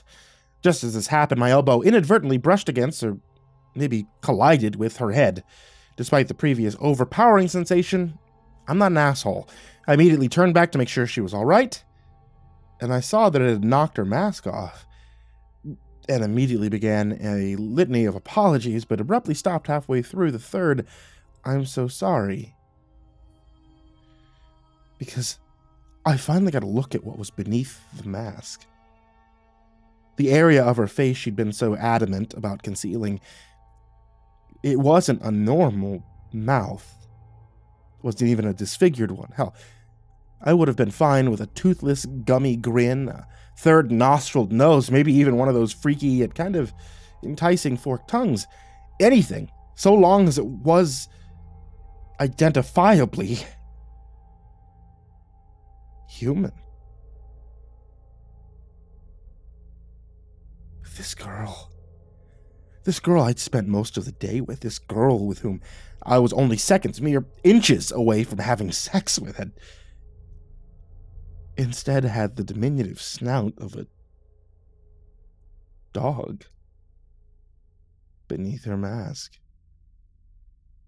She screamed, or rather yelped, but not from an unintentional elbow blow. She'd recovered just fine from that and was hastily trying to refasten her mask around her face. I scrambled away and fell off the bed, terrified beyond sense. Somehow, perhaps through a subconsciously driven automation of body, I crawled backwards and happened to shut the closet door, but there was no relief from this action with the hound woman only a few feet away. She had remained on the bed and only addressed the issue of her dog face when she'd finally gotten her mask back on. She beckoned me to return to the bed, saying that the snout was a birth defect, some, some sort of ultra rare yet harmless genetic anomaly. And yet, as she said this, her dog mouth slavered hungrily, creating a truly abhorrent visage of cross species mania. Total bullshit. Not believing any of it, I darted around the room in search of my clothes, but only managed to find my t shirt and pants before the bedroom door opened and the dachshund walked in. Hey, Sarah, heard you shout. This guy hurt you? The Dachshund looked at me, eyes heavily lidded, with body language that bore without question the subtle posture of a slightly alarmed human being. Sure, he was on all fours, yet despite his quadruped stance, there was an inexpressible humanity in the way he stood. I screamed like a madman when he spoke again, this time saying, Hey, buddy, what'd you do? With a dexterity that I'm surprised was possible given flight of terror. I leapt over him, landed in the hall beyond the door, and kicked it shut behind me without halting or significantly altering my stride. Before I had even entered the living room, I heard vicious barking issue from within the closed bedroom, and now that I'm reflecting back on the experience, I'm absolutely certain the savage sounds had been made by two different voices. I've made it out of there with a fragment of my sanity. I would have escaped that warped mongrel nightmare without having any need to attend therapy sessions after therapy session if I hadn't noticed the slightly ajar door in the kitchen. My nerves warred with me, those wired for survival screaming at me to leave, and those born of compulsive neurosis arguing, hey, we can't leave that door open, can we? I'm sure you can guess which side won out. The kitchen was only a few feet away, so I, I jumped over the coffee table. In another two steps, I was at the door. But before I could close it, before I could finally put an end to that utterly insane day, inside of this domain of the dog people, I saw something ascending the stairs. I automatically opened the doors. Anyone would have automatically done for someone below them in that situation, but I wish with all of my heart that I hadn't. Because the person coming up the stairs wasn't a person like I was. I mean, they walked upright, sure. They climbed the steps in typical human bipedal fashion. But they were entirely nude. Covered in short, brown fur, their head. Oh god, their loathsome head It was the reverse of my dates. Rather than the top half of their face being human, theirs was canine with a human mouth in place of a snout. The floppy ears of the dog perked up in an expression of slight surprise, while a human mouth sipped a drink through a straw. Our eyes met, and without showing any real shock at my entirely human appearance, the bestial stranger said, Oh, you must be the new guy. Has she let you pick out your collar yet? With a force that might have been a bit excessive, I slammed the door in their face. I heard a splash, presumably some of the drink falling to the floor as they recoiled away in surprise, and only a moment later I heard the deeply unsettling sounds of a tongue lapping up the liquid that had landed on the wooden stairs. I turned around and fled, but made one final frightful observation before bolting out of the house. On a rack beside the front door were six collars all with names. All of the names were male. My date, apparently, was the owner of the brood. I'd only met two of the four dogs. I refuse to imagine in what state of anthropomorphic de-evolution or grotesquerie canine mutations the other four were in. Obviously, I unmatched her on the dating app once I'd driven a comfortable distance away. You can only speculate about what might have happened to me if I'd had sex with her. Perhaps Perhaps she would have placed some sort of transformative spell on me mid act, or maybe the mere act of having sex would have initiated the usurpation of my humanity. I don't know. I have no intention of finding out by going back to that site of zoological abominations. The only good thing to come from the dreadful experience was the total erasure of my compulsion. I mean, I have no problem with doors being left open now that I've developed a maddening fear of dogs including my own cute, fluffy, and entirely innocent pup, who was asleep in front of the TV when I returned home.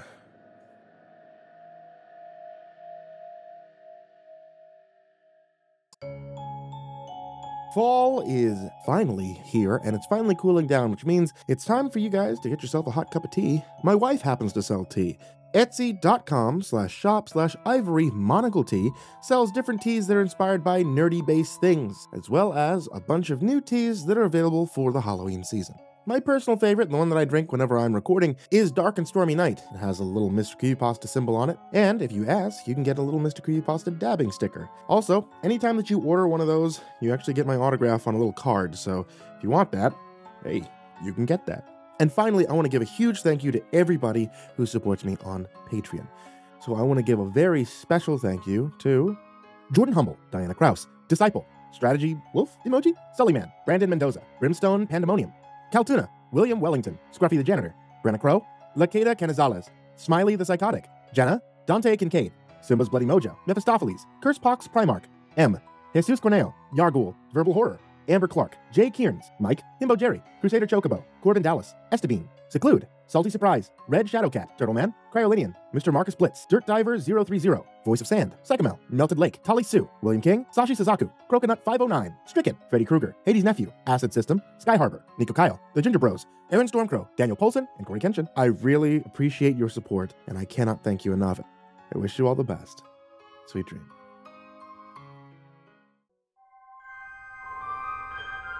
I picked up the phone, and to my absolute horror, I discovered it was my mom on the other end of the line.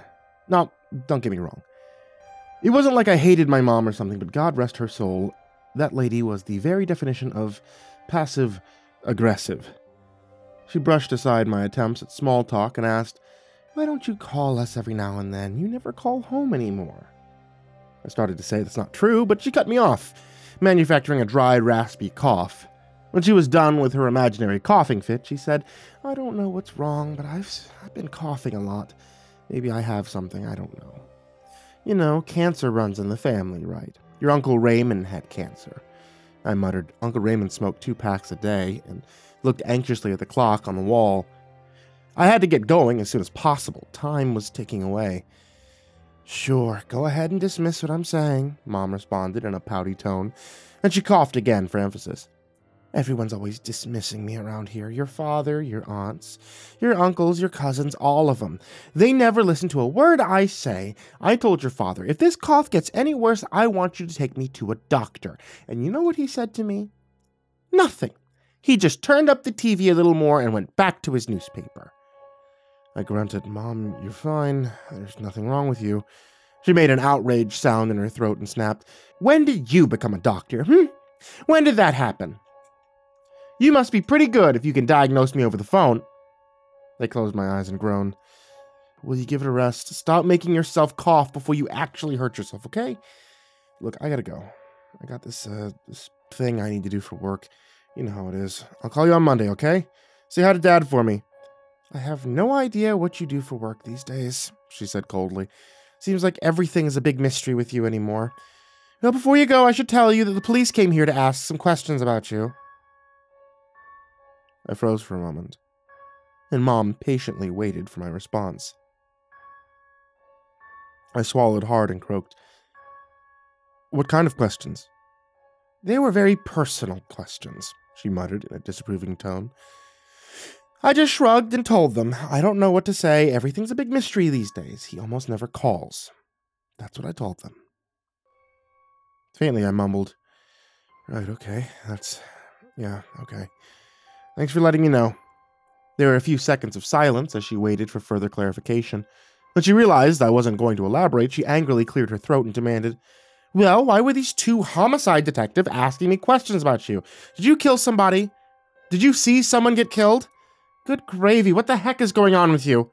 I stammered, Nothing, nothing's going on, Mom. I didn't kill anyone, nor did I see anyone get killed. I saw nothing and I know nothing. I have no idea why they showed up at your door. Swear to God. She grumbled, You swear to God. Kids these days don't even believe in God.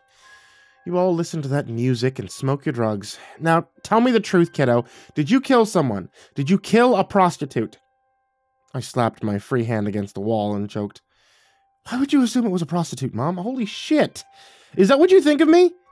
Well, everything's a mystery with you anymore she shot back. You're so secretive, and you never have a girlfriend. I think it's very strange that you don't go any dates with girls. I shouted, That's because I'm awkward, not because I want to kill them. I, I can't believe you. I mean, you could have just assumed I'm gay or something, but no, you, you went straight to me being a freaking serial killer? She shot back, Don't yell at your mother. I'm not the one who has the police on their trail. Oh, I should also remind you, it's your Aunt Glenda's birthday on Sunday. Did you get her a card? I shook my head and muttered, I've literally never given Aunt Glenda a birthday card. She lives on the other side of the country. I've only met her three times in my entire life, and she also thinks I'm someone else. That's no excuse. I'm pretty sure they have mailboxes on the other side of the country. You better get her a card or you won't be in her will. I grunted. Damn, I was hoping she'd leave me her collection of fine china. Easy come, easy go. Speaking of which, I gotta go now. Work stuff and all that jazz. Talk to you Monday. Bye. I hung up the phone and resisted the urge to give it a slap. I'd been hoping the cops had given up on squeezing me for information about Vincent, but I should have known better. I briefly considered calling Vinny the Pomp. I decided it would have to wait. I had a more pressing matter at hand. I had to find Kaz. I needed his guidance, and I needed it immediately.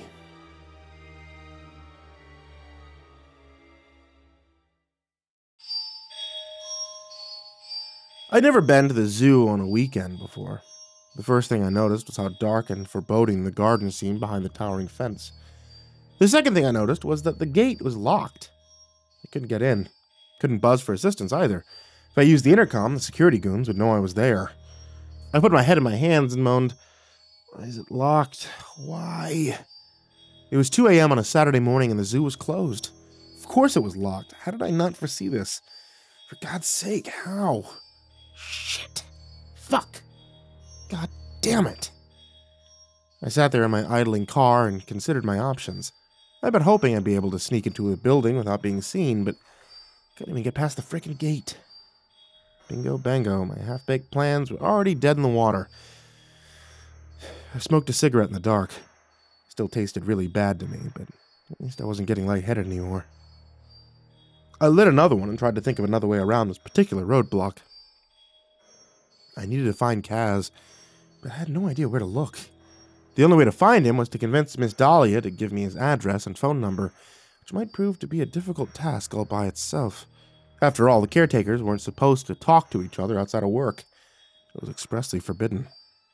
There were two major barriers between me and Miss Dahlia. One barrier was the presence of two or three heavily armed dickheads who might be wandering around the zoo.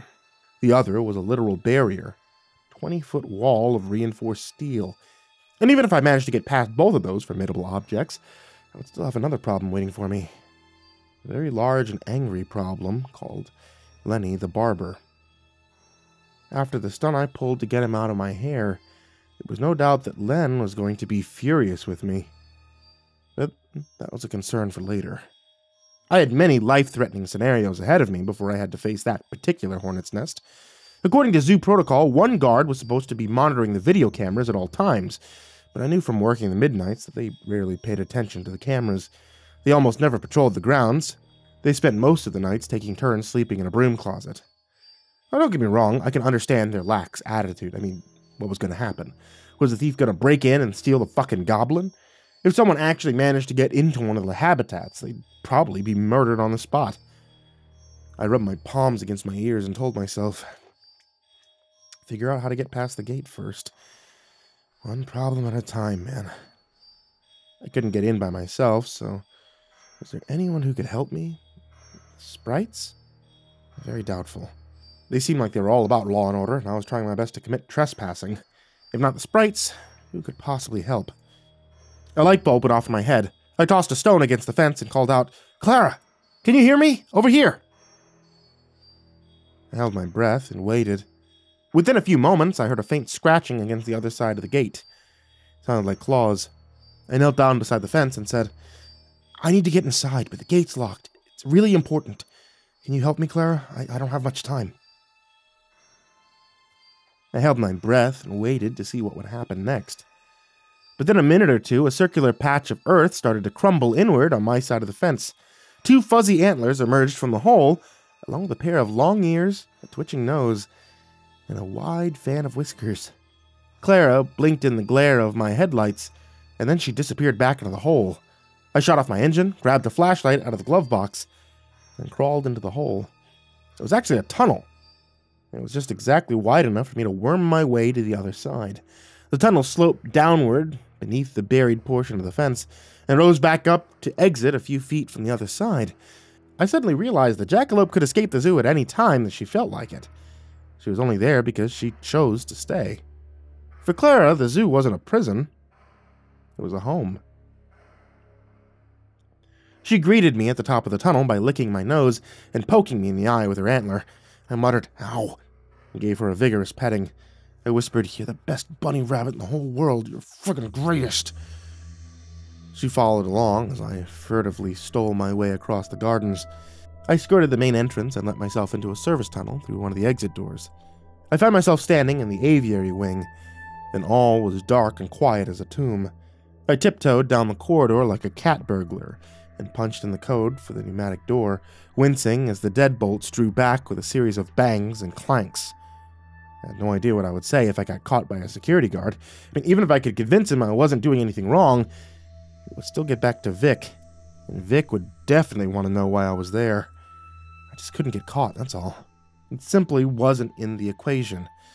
I stuck close to the wall in the main lobby, trying my best to be invisible. It was gloomy in there, and the silence was thick. When I made it to the door that led to the reception area, I breathed out a long, deep sigh of relief. Everything was going according to plan. I opened the door and walked right into one of Victor's security thugs. He had one of Vic's cigars clenched in his teeth, and three more were sticking out of his jacket pocket. We stared at each other in shock for a moment. Then he grabbed the front of my jacket and growled, Looky here. It's new guy, Bobby Dipshit or whatever. I squeaked, Billy Whitebread. And he responded by shaking me like a baby rattle. He said, I don't give a shit about your name. What I do care about is why you're here. I tried to push his hands away, and I sputtered, I got Vic's permission. He said it was okay if I came back tonight. I had to. My mind went blank. Why did I need to come back? I opened my stupid mouth and blurted out, I had to get some stuff out of my locker. The guard snapped. First of all, Vic would have let us know if you were coming. No one shows up here unannounced, not ever. Second, your locker ain't in the reception area. He shoved me back into the lobby, and my mind seized up with an overload of panic. I was fucked. I was completely and utterly fucked. As the security guard was manhandling me into the lobby, a streak of brown suddenly came blazing in from out of nowhere. It slammed into the goon like a cannonball. Wham! The impact made him slide 15 feet across the floor. I let out a strangled cry of surprise and shock. I could scarcely believe it, but my rescuer was Clara. She hopped over to stand on his chest and aggressively sniff at his unconscious face. She must have snuck in behind me when I slipped in through the exit door. When she was satisfied the guard was no longer a threat, she hopped over and leaned against my leg. I looked down at her with my mouth hanging open and whispered, Holy hell, did you just kill that guy? From behind me, Miss Dahlia called out, you better hope not. That young fellow is Victor's nephew. I poked my head through the doorway and saw her standing beside the waterfall. The water had been shut off for the weekend, and the pool was dark and still. She looked sleepy and irritable in a frumpy nightgown. She saw the puzzled expression on my face and scowled at me. What did you expect? she demanded. It's the middle of the night. Stop gawking at me and drag him over here. I can save him. At first, I thought she was being a little dramatic. I mean, the guard didn't look that bad. But then I saw a pool of blood oozing from the back of his head. I groaned, oh, fuck me. I started dragging him by the ankles into the reception area.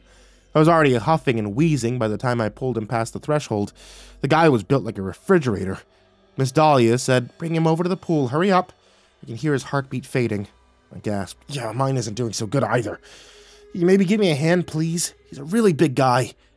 The water nymph gave me a sour look and rolled up the sleeves of her nightgown. She grabbed him by one leg and effortlessly dragged him over to the side of the pool. She dripped a palmful of water across his face, and as the droplets rolled down his cheeks, she softly sang to him in a dialect that was probably older than humankind. Her voice was entrancing. It made me feel at peace. The thug focused his eyes on her face. He touched the back of his head and croaked, Why am I on the floor? You had an accident, she murmured in a soft voice. You slipped on the floor and fell.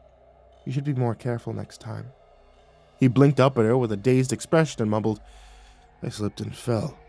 Gotta be more careful next time. That's right, she agreed. Now go find a mop bucket. He made a mess on the floor. Uncle Victor won't like that, the guard said faintly, and he heaved himself to his feet. He looked over at me and asked, Who's that? Why's that rabbit got antlers? That's nonsense, Miss Dahlia said firmly. Rabbits with antlers? Absolutely not. There's nothing there. He looked away from us and muttered, Nothing's there. Hey, where'd all that blood come from? He started to look confused again. Miss Dahlia prompted, You slipped and hit your hat. He snapped his fingers and exclaimed, All right. Damn, look at all that blood. Head wounds bleed like a bitch. Miss Dahlia sighed. You're fine, sugar. And she pushed him into the lobby. She closed the door behind him and whirled around to confront me, her dark eyes smoldering with irritation. She growled, Why are you here? You have absolutely no business being at the zoo tonight, and that goes double for being here in the reception area. This happens to be my living quarters. Did you know that? I literally sleep in that water, you intrusive idiot. You better have a damn good excuse, or I swear to each and every god in the heavens, I'll grab you by that skinny neck and beat that stupid out of you. I gawked at her with my mouth hanging open, and I was suddenly very afraid. There was no doubt in my mind that Miss Dahlia could easily pound the living shit out of me. She had dragged the security goon across the floor like he was made out of feathers. I mean, she was a supernatural being that slept in a pool of river water. Of course she could beat me up. I looked down at the floor and mumbled, I'm really, really sorry. Long story short, I need Casimir's address, his phone number too, if he has one. I wouldn't be surprised if he doesn't have a phone. I mean, he's, you know, it's kind of weird like that. What for? She demanded. Must I remind you, it's against the rules. Y'all can't speak to each other outside of the zoo, sugar. Victor doesn't like it. I gave her a pleading look and said, I just really need to talk to him, okay? Believe me. I wouldn't break into the zoo at night for a laugh. I am 100% scared shitless of Vic, and I. I would absolutely not risk making him angry if I didn't have to, so please, please, just do me this one favor, please. No. Now go away before I punch you in the liver. I took a deep breath and held my arms away from my body. Go ahead then, I wheezed. Do it. Miss Dahlia gave me a considering look. Grudgingly, she answered, I already saved your narrow butt once tonight. You and that mangy rabbit, neither one of you should be here. As for Kaz, well, he's still on the mend from getting attacked by that ape. He needs rest. I gave her an indignant look and sputtered, Here, he's not an ape, okay? He's not an orangutan. He's not a freaking gorilla. He's a Sasquatch. How would you like it if I called you like a like a pond fairy or something? You wouldn't like that. Miss Dahlia rolled her eyes and shot back. He's a smelly, flea bitten ape, and you're a foolish little mouse with a death wish. Now get out of here! I'm tired. I threw my hands up and hollered, I'm in a tough spot over here, lady, okay? Just give me his address and I'll leave. I I won't ever come back to the reception area again, I swear. Miss Dahlia patted me on the shoulder and said in a husky voice, Well, now let's not be hasty. She walked behind her desk and dug around in a filing cabinet. She called over her shoulder. If it's advice you're looking for, you should go talk to the skinwalker. He's always tripping into the spirit realm. The spirits can tell you anything you need to know. I perked up a little and asked, Does the succubus hang out in the spirit world by any chance?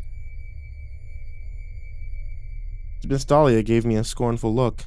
She huffed, That shameless floozy. She's got it all hanging out across every plane of existence. She's a demon. They aren't bound by time and space. The water nymph glared up at the ceiling and yelled, I hope you heard that, you nasty old floozy. I hope you choke on a neutron star. I flinched a little and cautiously asked, I don't mean to pry, but why do you hate her so much? Miss Dahlia's eyes became distant. She wrote Kaz's address down on the back of an envelope and muttered, Many, many ages ago, she destroyed someone near and dear to my heart.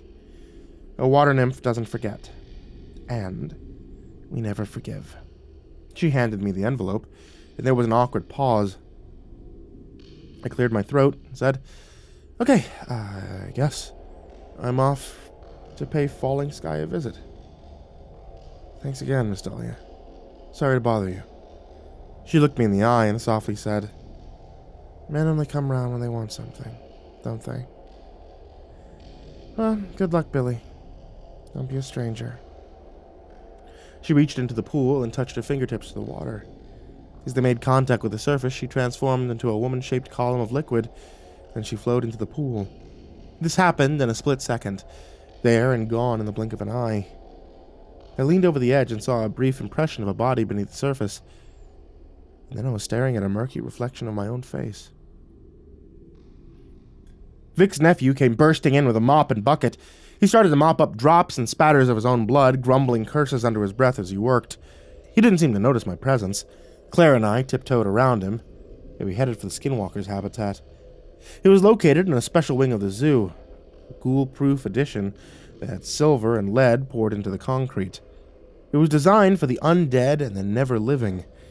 It was known as the Other Wing. I was about to embark on the journey of a lifetime. I was about to trip into the spirit world.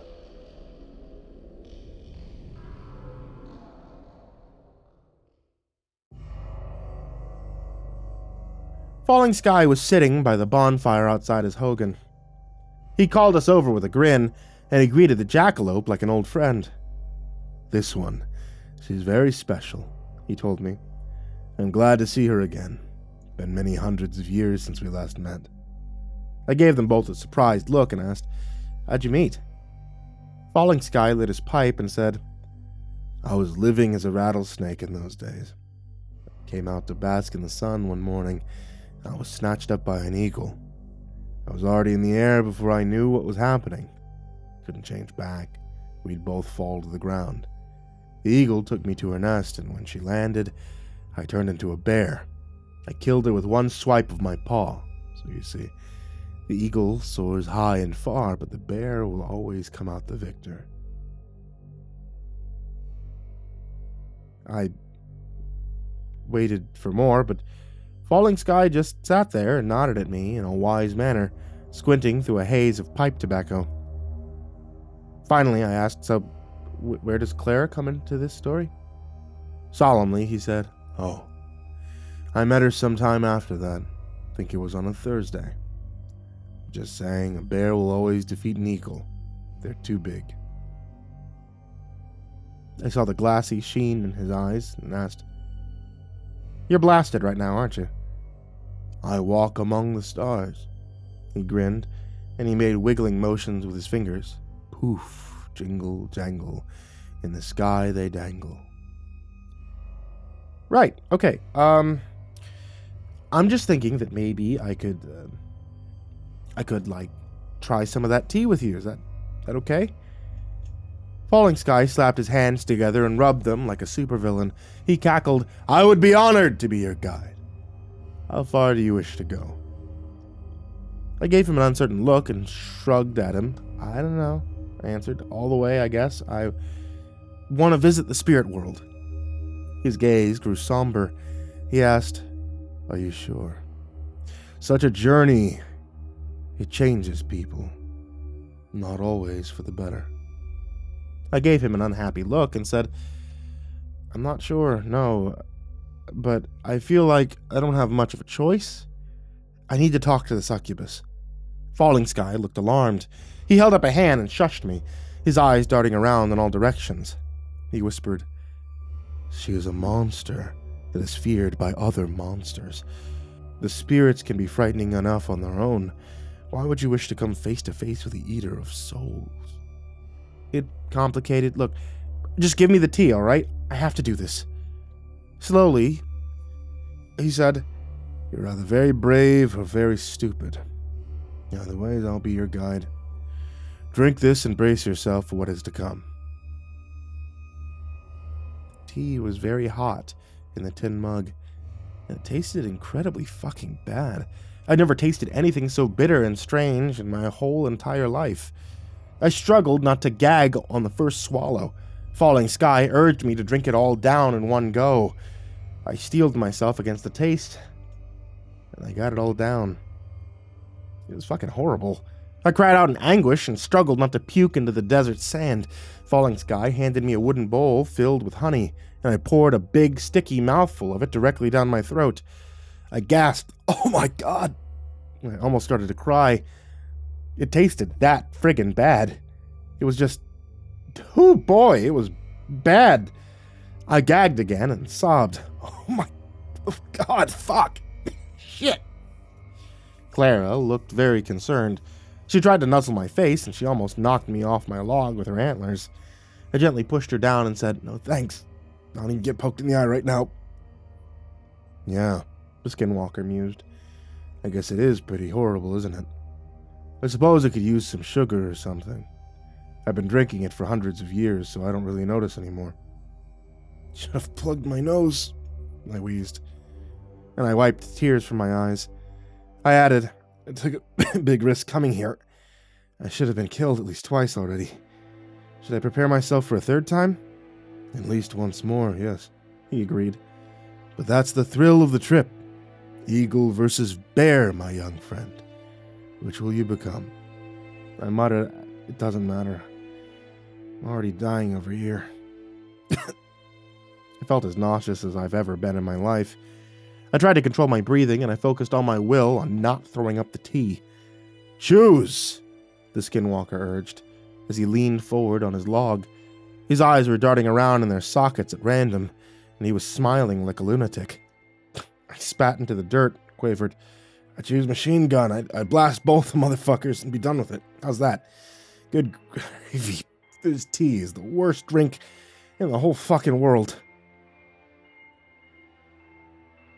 Falling Sky gave me a deeply offended look. Sarcastically, he said, Ha ha, that's very funny.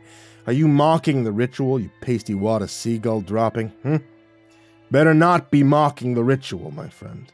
This is my heritage. I snorted. Come on, being a skinwalker is not part of your heritage. Your people disapprove of that kind of thing, don't they? Not like your parents set you off to Navajo witch school to get a degree in shapeshifting. A dumb thing to say. Well, you're certainly in a mood, aren't you? Falling Sky grumbled. It's not my fault you can't handle a little mug of tea. You even started crying. Don't deny it, I saw you. You're a whimpering little cry monkey. I gave him a sharp look and demanded, The hell's a cry monkey? You mean a cry baby? Yeah. Maybe I cried a little, but at least I never spent any time living as a snake. Let me tell you something, man. It's fucking weird slithering around in the sand and just like eating mice and lizards and, you know, fucking scorpions and shit. Fucking why, man? That's just weird. He gave me an unconcerned shrug and said, Variety is the spice of life, little brother. I can see your mind is closed, but it will be opened soon. Look down at your hand and tell me what you see. I looked at my hand and said, I just see my hand. I, don't think it's kicking in yet. He patiently replied, Wrong. Look again. I still just see a hand. Look, I'm sorry. I was being crusty with you, man. It's been a long day, I up to my ears in. Uh, uh, what the fuck? Holy shit! Right in the middle of my sentence, the structure of my hand became jarringly different. There were no longer five fingered flesh pods uh, I was used to seeing at the ends of my arms. Instead, I was looking at a couple of scaly, four toed monstrosities. My hands were now eagle claws. I was in complete shock. My legs were gone. In fact, almost my entire body was gone. I had feathers, wings, and a curved beak. I was no longer a man, I was an eagle perched on top of a log, and the other log was now being straddled by an enormous grizzly bear. Looked over at Clara, a scream rising in my throat, but she gave me a completely unconcerned glance and went back to nosing around the habitat. Falling Sky said apologetically, It was either eagle or bear, and I prefer to be the bear. Are you ready to ascend? I croaked, I don't know, and gave my wings an experimental flap. I mean, I guess so. He chuckled. Your body doesn't ascend, only your heart. You don't actually become an eagle. You're just really high right now. I looked down at my eagle body in confusion and stammered, uh, What about you? Are, are you just. Are you really a bear right now? He patted his chest with an enormous paw and said, Yeah, I turned into a bear. I didn't have to, but I like to get into character. Let's go. We sat there and stared at each other for a bit, and nothing happened. At least it seemed like nothing was happening. But then I noticed that my log was no longer touching the ground. The habitat was gone. No bonfire, no Hogan, no Clara, no walls, just empty space all around us. The air was filled with dreary gray mist. We could have been floating 10,000 feet in the air, or we could have been sinking 10,000 feet below the surface. It was impossible to tell. I looked over at the bear and asked, Is this the spirit world? He shrugged his massive sloping shoulders and said, Yeah, probably. I never really know when I've arrived. It's always different.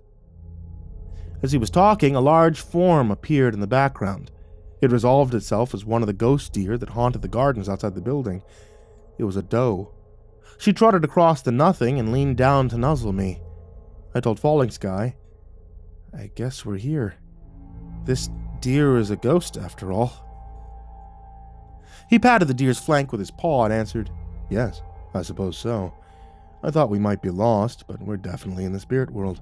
You see, there is the world we live in, and then there is the spirit world.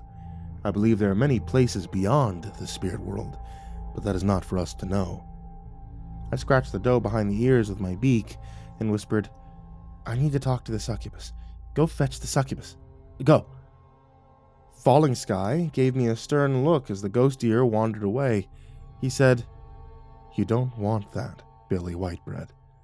Talk to my ancestors instead. They will have the wisdom of 10,000 years. I threw my wings in the air and yelled, I don't need to know about the migration patterns of the buffalo, my man. I've got a very specific problem over here, okay? If Vic gets to the succubus before I do, I'm probably fucked. I have to get to her and strike a deal. Hey, don't shake your head at me like that. This bullshit is completely beyond my control. Believe me, I'd rather be watching the tube and scarfing a cheeseburger right now. Well, I suppose she can't eat you over on this side, Falling Sky mused. But she can still scare the shit out of you. You're way too high to deal with that right now. I don't think you should face her until your mind is clear. I grumbled. Wish I could put it off, but I don't have much time. Come Monday, I might already be shit out of luck. A handful of solemn faced Navajo people came silently walking into view. Falling Sky whispered, It's the ancestors. As they drew closer, he greeted them all by name. He pointed at me and asked, Do you have any wisdom to share with my friend? A tall, solemn faced man drifted over and quietly said, On the night of the seventh full moon, you must gather your hunting party along the banks of the great river. You'll need twenty brave hunters, each of them burdened with as many arrows as they can carry. Make camp before dark arises, shortly after the moon sets. As the sun begins to glow in the sky, you will feel the herd approaching through the vibrations in the ground. I turned to Falling Sky and groaned, You see, this is what I was talking about. These guys don't know how to help me, man. They've been dead for way too long. No, no, I, I was just kidding. The Navajo spirit chuckled. Just fucking with you, little brother. My my advice is to find the sex demon and strike a bargain with her. There's there's no other way if you want to live. I felt my wings droop at my sides in disappointment. I groaned. But I don't want to kill anyone. She'll want to sacrifice in exchange for a favor. I, I can't live with that kind of shit riding around on my back. Fuck. I wish I was talking to Kaz right now. He'd know what to do. The spirit gave me a guarded look and said, Casimir can't help you. See for yourself. The mist parted like a curtain, and I found myself looking into the living room of a small apartment. Casimir was stretched out on an old couch. He was wearing a grubby looking tracksuit, and one of his socks was missing. The coffee table beside him was a mostly empty bottle of vodka, stood behind an overflowing ashtray. Kaz held something against his temple. I heard a muffled click. I saw that he was holding a revolver, and my heart lurched in my chest. I sputtered, what the, what the hell is he doing? The spirit gravely shook his head. He murmured, He does this sometimes when he's drinking at night. He loads one bullet, spins the chamber, and he pulls the trigger.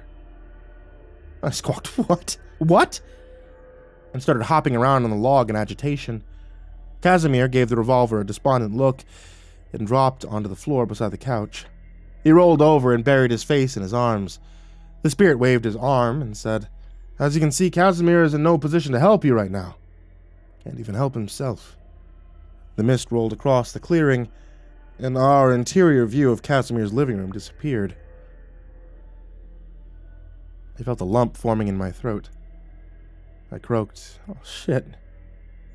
Obviously not doing so good. Yeah, okay. I see. I won't bother him then. I'll just have to go talk to the succubus and deal with it myself.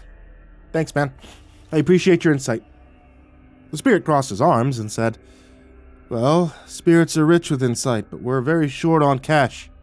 Please consider making a donation. I gaped at him in disbelief and asked, How, how do I donate money to spirits and where would you even spend it? I'm fucking with you again. He chuckled. Go and find your demon, Billy Whitebread. Be wary of her tricks and the pleasures she offers you, or you risk being destroyed. One of the other Navajo spirits called out in the background, But what a way to go! and made vigorous thrusting motions in the air. The rest of them started giggling and nudging each other. Don't listen to him, he muttered in a surly voice. Some spirits think it's funny to mess with the living. From their point of view, it's not a big deal if you die. Anyway, I wish you luck, little brother. Come visit us again sometime. I appreciate speaking with the living every now and then. Makes me grateful for how easy it is to be dead. He gave me a little pat on my eagle head and faded into the mist. The others still giggling and making off color jokes as they followed behind. I looked over at Falling Sky and said, Well, I guess it's time to face the music. How do I find her? Falling Sky pointed to the fog and said, Just walk that way until you see her.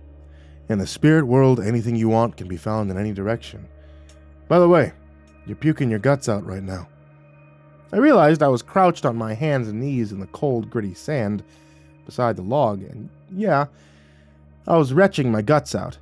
A terrible way to snap back into reality, that's for damn sure. When it was over, Falling Sky handed me a rough piece of linen to wipe my mouth. I gasped, You don't have a pack of gum laying around, do you? My mouth tastes like toxic waste. He raised an eyebrow and asked, Do you see a variety store in here? Is there a supermarket tucked in that corner? Here, rinse your mouth. He handed me a tin mug of warm water. I spat it onto the sand and sighed, Okay, I think I'm ready.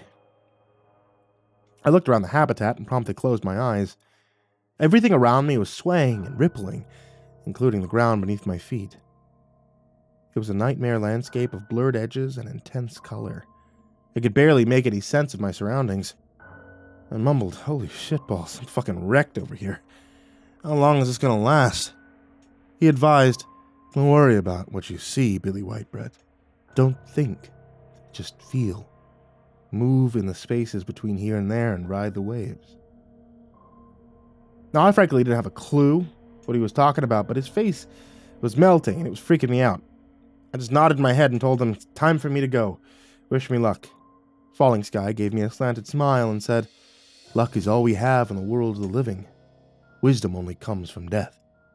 Good luck, Billy Whitebread. I headed for the exit, carefully, placing one foot in front of the other, and I whispered to myself, Move in the spaces, ride the waves, with every step that I took.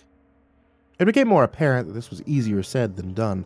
The spaces were moving all over the fucking place, and the waves were making me sway around like I was suffering from a brain injury. I, I suppose I, I was suffering from a brain injury in a way, but it was chemical rather than physical. The urge to puke my guts out hit me again when I got to the door. I had to close my eyes for a while and lean against the wall until the nausea passed. When I opened them again, all I could see was white. No walls, no floor, no lines or dimensions at all, just a blank void of white in all directions.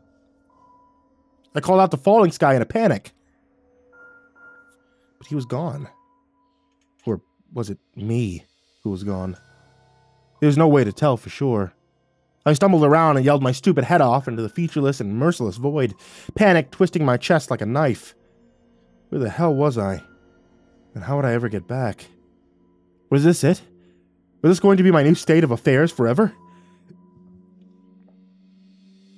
I slowly became aware that soft music was shimmering from the empty air around me. It was a classical piano piece, a moody and somber composition in a minor key. A figure materialized in the distance and began to approach with a sultry sway of its hips. As the figure drew closer, I realized that was my 10th grade French teacher, Miss Florence. 15 year old me had developed a secret lust for Miss Florence early in the year. She always wore her hair in a severe looking bun. She had a different color of horn rimmed glasses for every day of the week. She also possessed a pair of bowling ball sized gazongas that strained against her dress jacket with alarming force. I often daydreamed about them in class, my eyes glazing over as she droned away in the front of the room. I rubbed my eyes in disbelief and stammered, Miss Florence? Miss Florence, is that you? Are you, uh, are you dead? She gave me a warm, inviting smile and stepped even closer. She purred, Am I dead? Not even close. You've certainly grown since you were in my French class, haven't you? You're a handsome young man now. She reached out to trail a finger down my chest, and I nervously stepped away from her touch. I squeaked, What are you doing here? Are you real? Miss Florence raised an eyebrow and softly asked, Do you want to find out? She slowly undid the top button of her dress jacket. The next one. And then another. My former French teacher wasn't wearing a shirt underneath, and her cleavage was everything I'd ever dreamed it would be. My hand floated up from my side to reach for her. I snatched it back with the other one. I shook my finger at her and snapped, oh, You're, you're not Miss Florence. You're, you're the succubus, aren't you? She put her hands on her hips and pouted. Well, I think just about every woman is a succubus at heart, Billy. That's what you like to be called now, isn't it? Billy Whitebread. What a whimsical name. Do you remember anything I taught you back then, Mr. Billy? Hmm? Come here. I want to give you a pop quiz. Miss Florence let out a giggle and pointed at my crotch. Despite my fear and a head full of psychedelic tea, I still managed to pitch a pretty decent tent. I covered it with my hands and circled around from her. She followed after me and crooned, Don't be shy. Come here and let me make everything better. I stomped my foot on the nothingness beneath me and yelled, I know you're really the succubus, so stop it! I, don't want you to eat my soul, okay? It's not worth it. She curled her lips and demanded, How would you know? Thousands of men have sacrificed their very existence to the pleasures of my embrace. Do you think you're above that? Look! I'm the most awkward guy you've ever met, I croaked. Believe me, I'm not above it. I'm actually very, way, way below it. Stop trying to trap me for a second and hear me out. I want to cut a deal. She gave me a smile and shrugged her shoulders, making Miss Florence's bosom rise and fall in a hypnotic fashion. Perhaps. What is it? If Victor comes to you and starts asking about Vince, can you tell him you don't know anything about it? Maybe just, you know, make up a lie or whatever. She gave me a predatory leer and asked, And what do you offer in return? I faintly muttered, Can you just do me a favor this one time? I'll owe you one.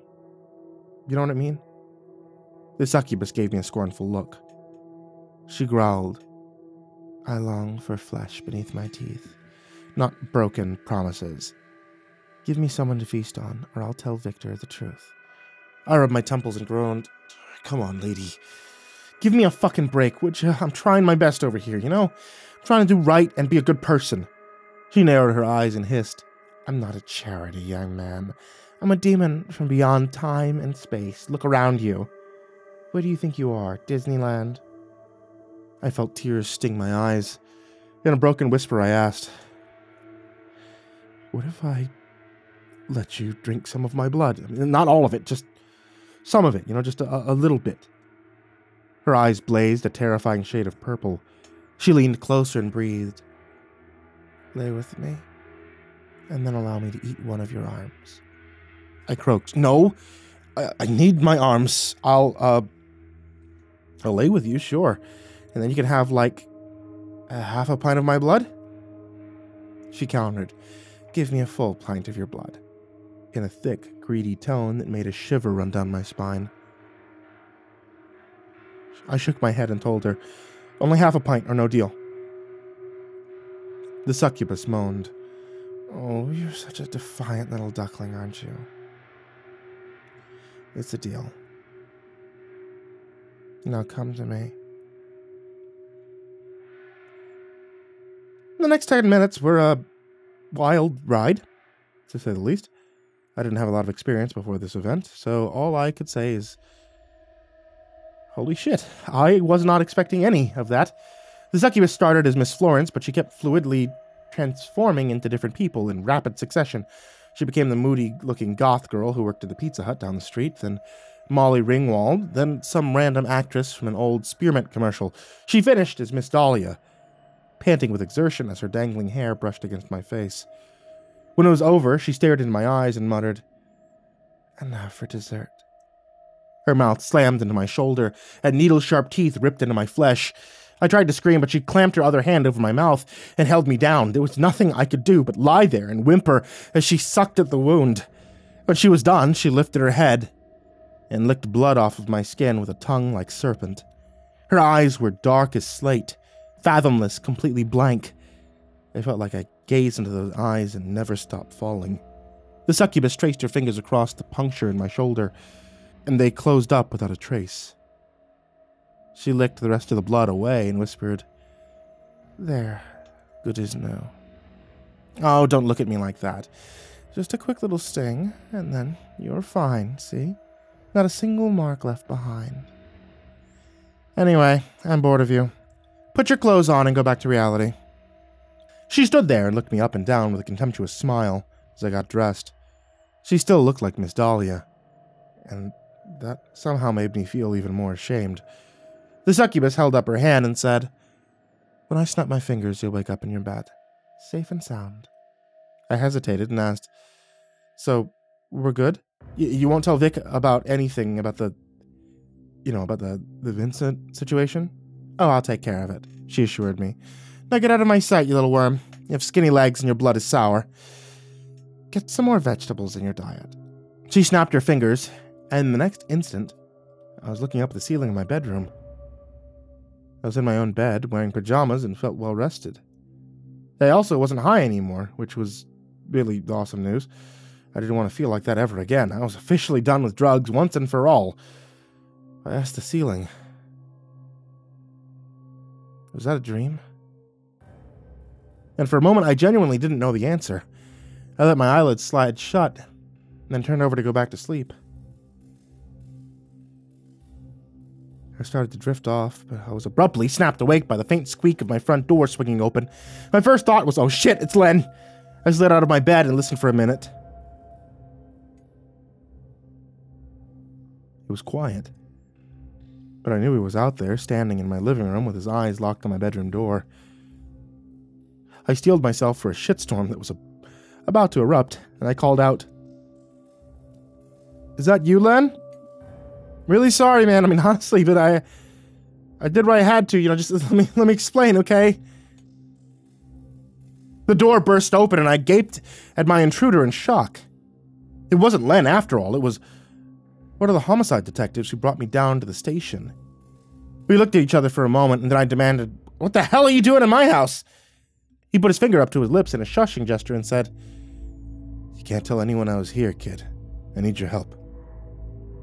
I stared at him, not understanding, and then I asked, Are you okay, officer? Shit, man. Is, is anybody okay? What the hell's happening out there? He gave me a puzzled look and shook his head. I don't know about any of that, kid. But me, personally, I'm in dire need of your help. Get dressed. I'm going to take you for a ride.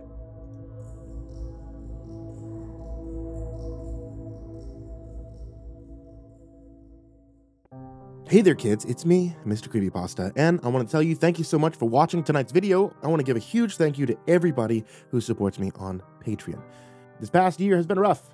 I've been gone for quite a while trying to get things um, organized for my own life, and Patreon subscribers, you guys who subscribe everywhere, th- this this has kept me afloat in turbulent waters. So I want to give a very special thank you to Jordan Humble, Diana Kraus, Disciple, Strategy Wolf Emoji, Sullyman, Brandon Mendoza, Brimstone Pandemonium, Caltuna, William Wellington, Scruffy the Janitor, Brenna Crow, Lakeda Canizales, Smiley the Psychotic, Jenna, Dante Kincaid, Simba's Bloody Mojo, Mephistopheles, Cursepox Primarch, M, Jesus Corneo, Yargul, Verbal Horror, Amber Clark, Jay Kearns, Mike, Himbo Jerry, Crusader Chocobo, Corbin Dallas, Estebean, Seclude, Salty Surprise, Red Shadowcat, Turtleman, Cryolinian, Mr. Marcus Blitz, Dirt Diver 030, Voice of Sand, Psychomel, Melted Lake, Tali Sue, William King, Sashi Suzaku, Croconut 509, Stricken, Freddy Krueger, Hades Nephew, Acid System, Sky Harbor, Nico Kyle, The Ginger Bros, Aaron Stormcrow, Daniel Polson, and Corey Kenshin. To all you guys and everybody who's included in the description down below, thank you so much for everything that you guys have done for me. And thank you so much for being here when times get difficult and I can't always be around to make content. I really appreciate your support, and I cannot thank you enough. And that goes to everybody who watches these videos, that goes to everybody who's subbed here, and anybody who has ever liked a creepypasta story ever. I wish you all the best. Sweet dreams.